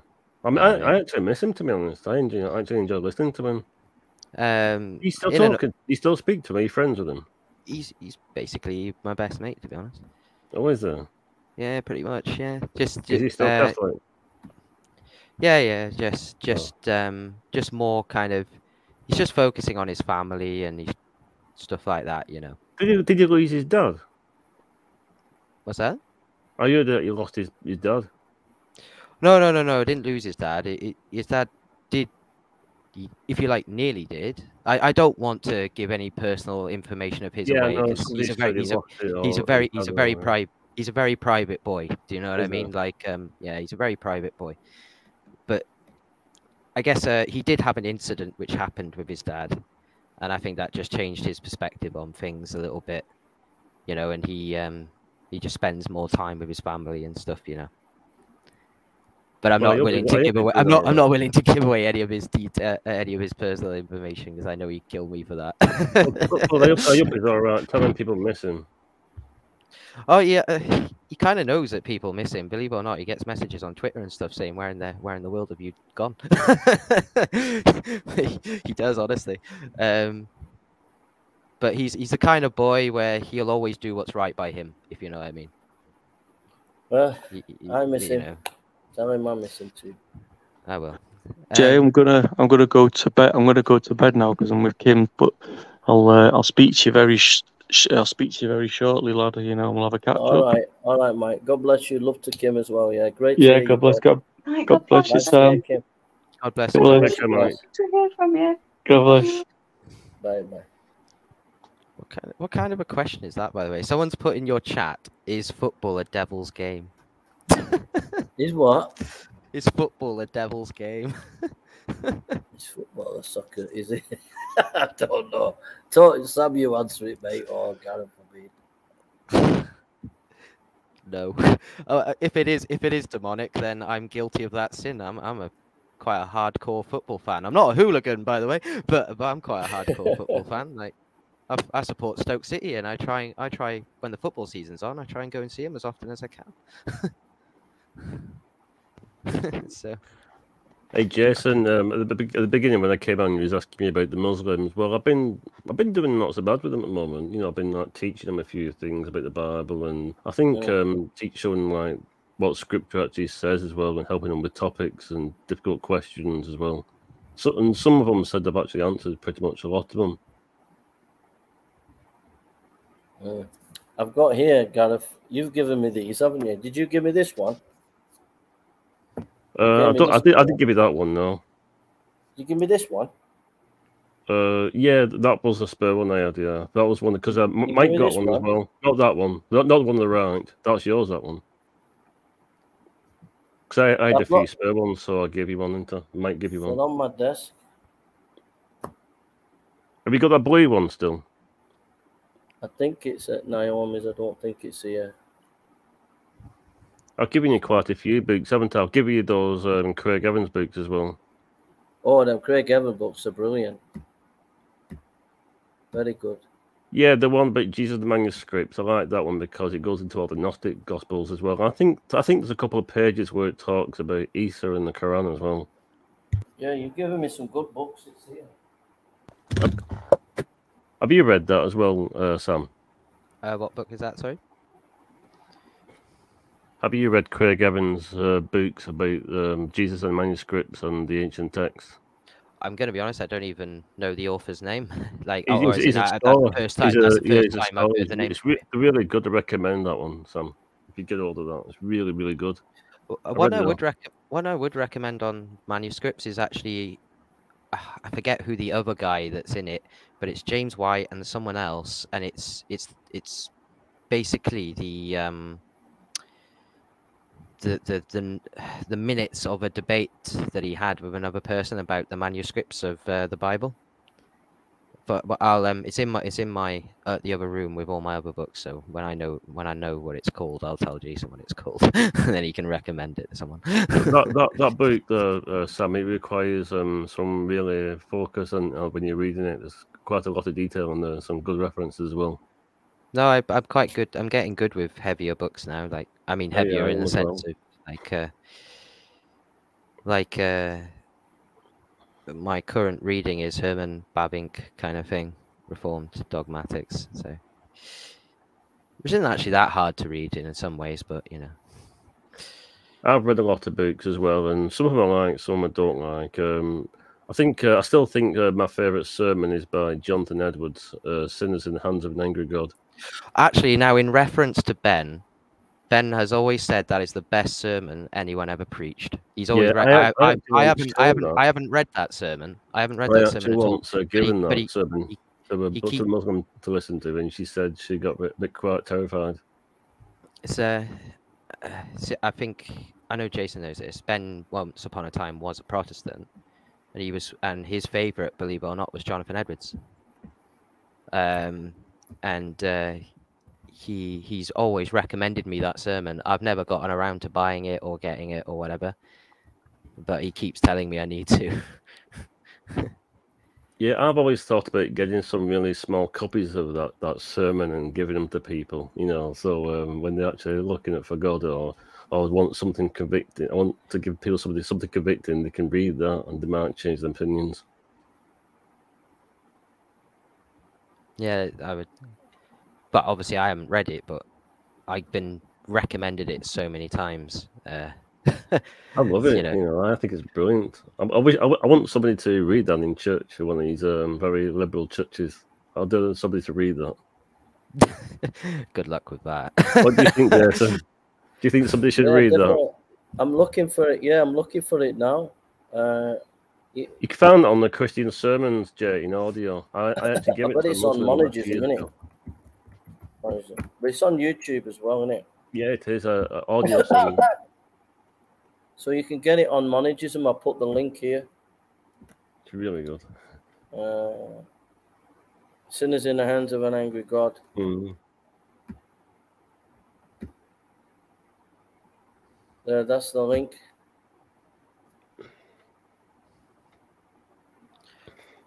I think we should all read it now that it's been mentioned. I, I've been uh, honestly, uh, Ben has actually been harassing me to read it for ages. I think How many need to times have you read around it, uh, Sam? What's that? Sorry, How many times have you read that? has he read it? Did you say? Yeah, how many times have you, have you read it or listened to it in audio? I, I many read it years ago. I know I've I haven't read that sermon once yet. He just keeps recommending it to me, and I've just never got around to it. Like um, he uh, so every once in a while he just goes, "Have you have you read uh, have you read Sinners in the Hands of an Angry God yet?" And I'm like, "No, I haven't got around to it yet." He just keeps going, "You you, you should." he just keeps telling me to to get around to it. Uh, Solomon, no, I've not read here. Robert Breaker. I've just googled him. He seems to be a King James only guy. No, I haven't. Sorry, guys. I'm gonna go in a minute. So, Sam, have you got your last words you want to share, or Gaz? I got a last prayer if you like. Um, Yeah, I might, I might, um, I might have a look at those um, sources uh, from that uh, catechism and see what it's about, and you know, just see what, what you've been teaching, really, because I've never heard of it, so it's called all new to me, really. Yeah, I think uh, there is. Uh, I'll just get this before. Uh, idle.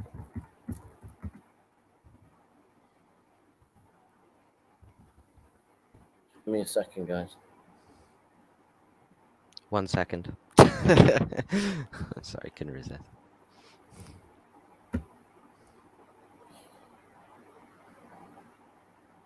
So here, uh, I'll just show you, folks, uh, before we uh, close. Uh, I'll just share the screen. This is a Monergism. You can get a commentary on uh, the Heidelberg Catechism as well by Dr. Zacharias Ursinus. So that gives you information there about who he is and what he is. But that's a commentary on the Heidelberg can, Catechism as well, if you can get hold of that from Monergism. So, Sam, if you want to close in prayer, Gaz, do you want to say anything? Well, um, just let just let me know when you're on next. I might jump on, um, depending on the topic. But um, you know, I, I might be tomorrow as well with with uh, Kieran and uh, probably uh, thir- on Okay. Thursday hopefully as well. So just let just let me know when you're when you're over here as well, Okay, I'll probably do uh, something tomorrow on prayer and preaching, the importance of prayer and preaching tomorrow. How's the preaching going in in, uh, in Africa at the moment? Is it going okay? Has, has anybody been in touch um, from anywhere else? Yeah, there's people in touch. There's lots of people in touch. Because I went out with my, with my mum and dad. Um, I think it was like to um, like a like a Christian gathering, and um, it was some people who was working like uh, in like Uganda as well. Some some people from over here, you know, like in in like locally as well, and from churches. And I think they was doing some mission in Africa in Uganda. And I, I gave them your um, your website and your YouTube, and, and asked them if there was interest in contacting. I don't know if they've been cut in touch at all. All right, I'll check the website then. Maybe they put an email there. But thanks for that, Gareth.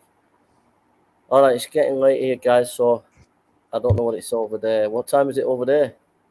Uh, 12 o'clock, pretty much. 12 Four o'clock. minutes So to. Sam, Five if you close, if you close in prayer, then, bro, and then we'll call it a night. And I'm if gonna. want to come on the stream tomorrow, we're doing prayer and preaching. It uh, depends what time I get home from work, but sure. um, I'm actually going to read a prayer for once, but this is one I've always had in my back pocket because I think it's beautiful. Okay. Um, it's actually one of Thomas Aquinas, but it's a beautiful prayer in all fairness to him. Anyways. Dear Lord, gra- grant, O most merciful God, that I might admirably desire, carefully examine, truly know, and perfectly fulfill all those things which are pleasing to you, to the praise of your glory and to your holy name alone. Direct my life, O God, and grant that I might know what you have me to do and to fill what is most necessary and profitable for you. Grant to me, O Lord, my God, that I may not be found wanting in prosperity or in adversity, and I might not be lifted up by one, and I might not be cast down by the other. May I find joy in nothing but what leads me to you, and sorrow in nothing that leads me away from you. May I seek to please no one or fear to displease anyone save only you. Grant to me, O Lord my God, a vigilant heart, that no subtle speculation may lead me from you, a noble heart, that no unworthy affection may draw me from you, an upright heart, that no evil purpose may turn me from you. Give me a steadfast heart, that no tribulation may shatter, and a free heart, that no violent affection may claim it as its own. And finally, grant me, O Lord my God, most merciful God, a mind to know you, diligent to seek you, and wisdom to find you. Give me a way of life pleasing to you, to persevere and trust in you, and await in your confidence, and I shall embrace you to the last. Amen. Amen. What a wonderful prayer. I thought of you, Jason. that was, that one was for you, man. yeah, it really was a help. It was really touched with that, brother. It really did. Thank you very much, Sam. Guys, great to talk to you, bro. Uh, give you a bell on WhatsApp sometime. Thanks for all what you share, bro. And uh, Sam, thank you, and uh, Kim and Michael for coming on. John McDermott, uh, Solomon, Michelle, everybody who's come to listen, thank you for that. Ben, if you're ever listening, we love you. We miss you. We hope you are okay.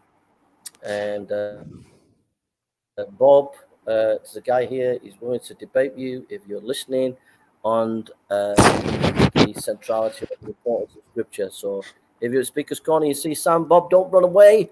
Please There's don't. here. Please don't. Stay. okay. So I'm going to go. God bless you, folks. Thank you for coming. Thank you, everybody. Great to hear from you, Sam. Yeah, Take great to hear from you too, guys. God bless everyone. Take care. Have a good night, everyone. God bless everyone.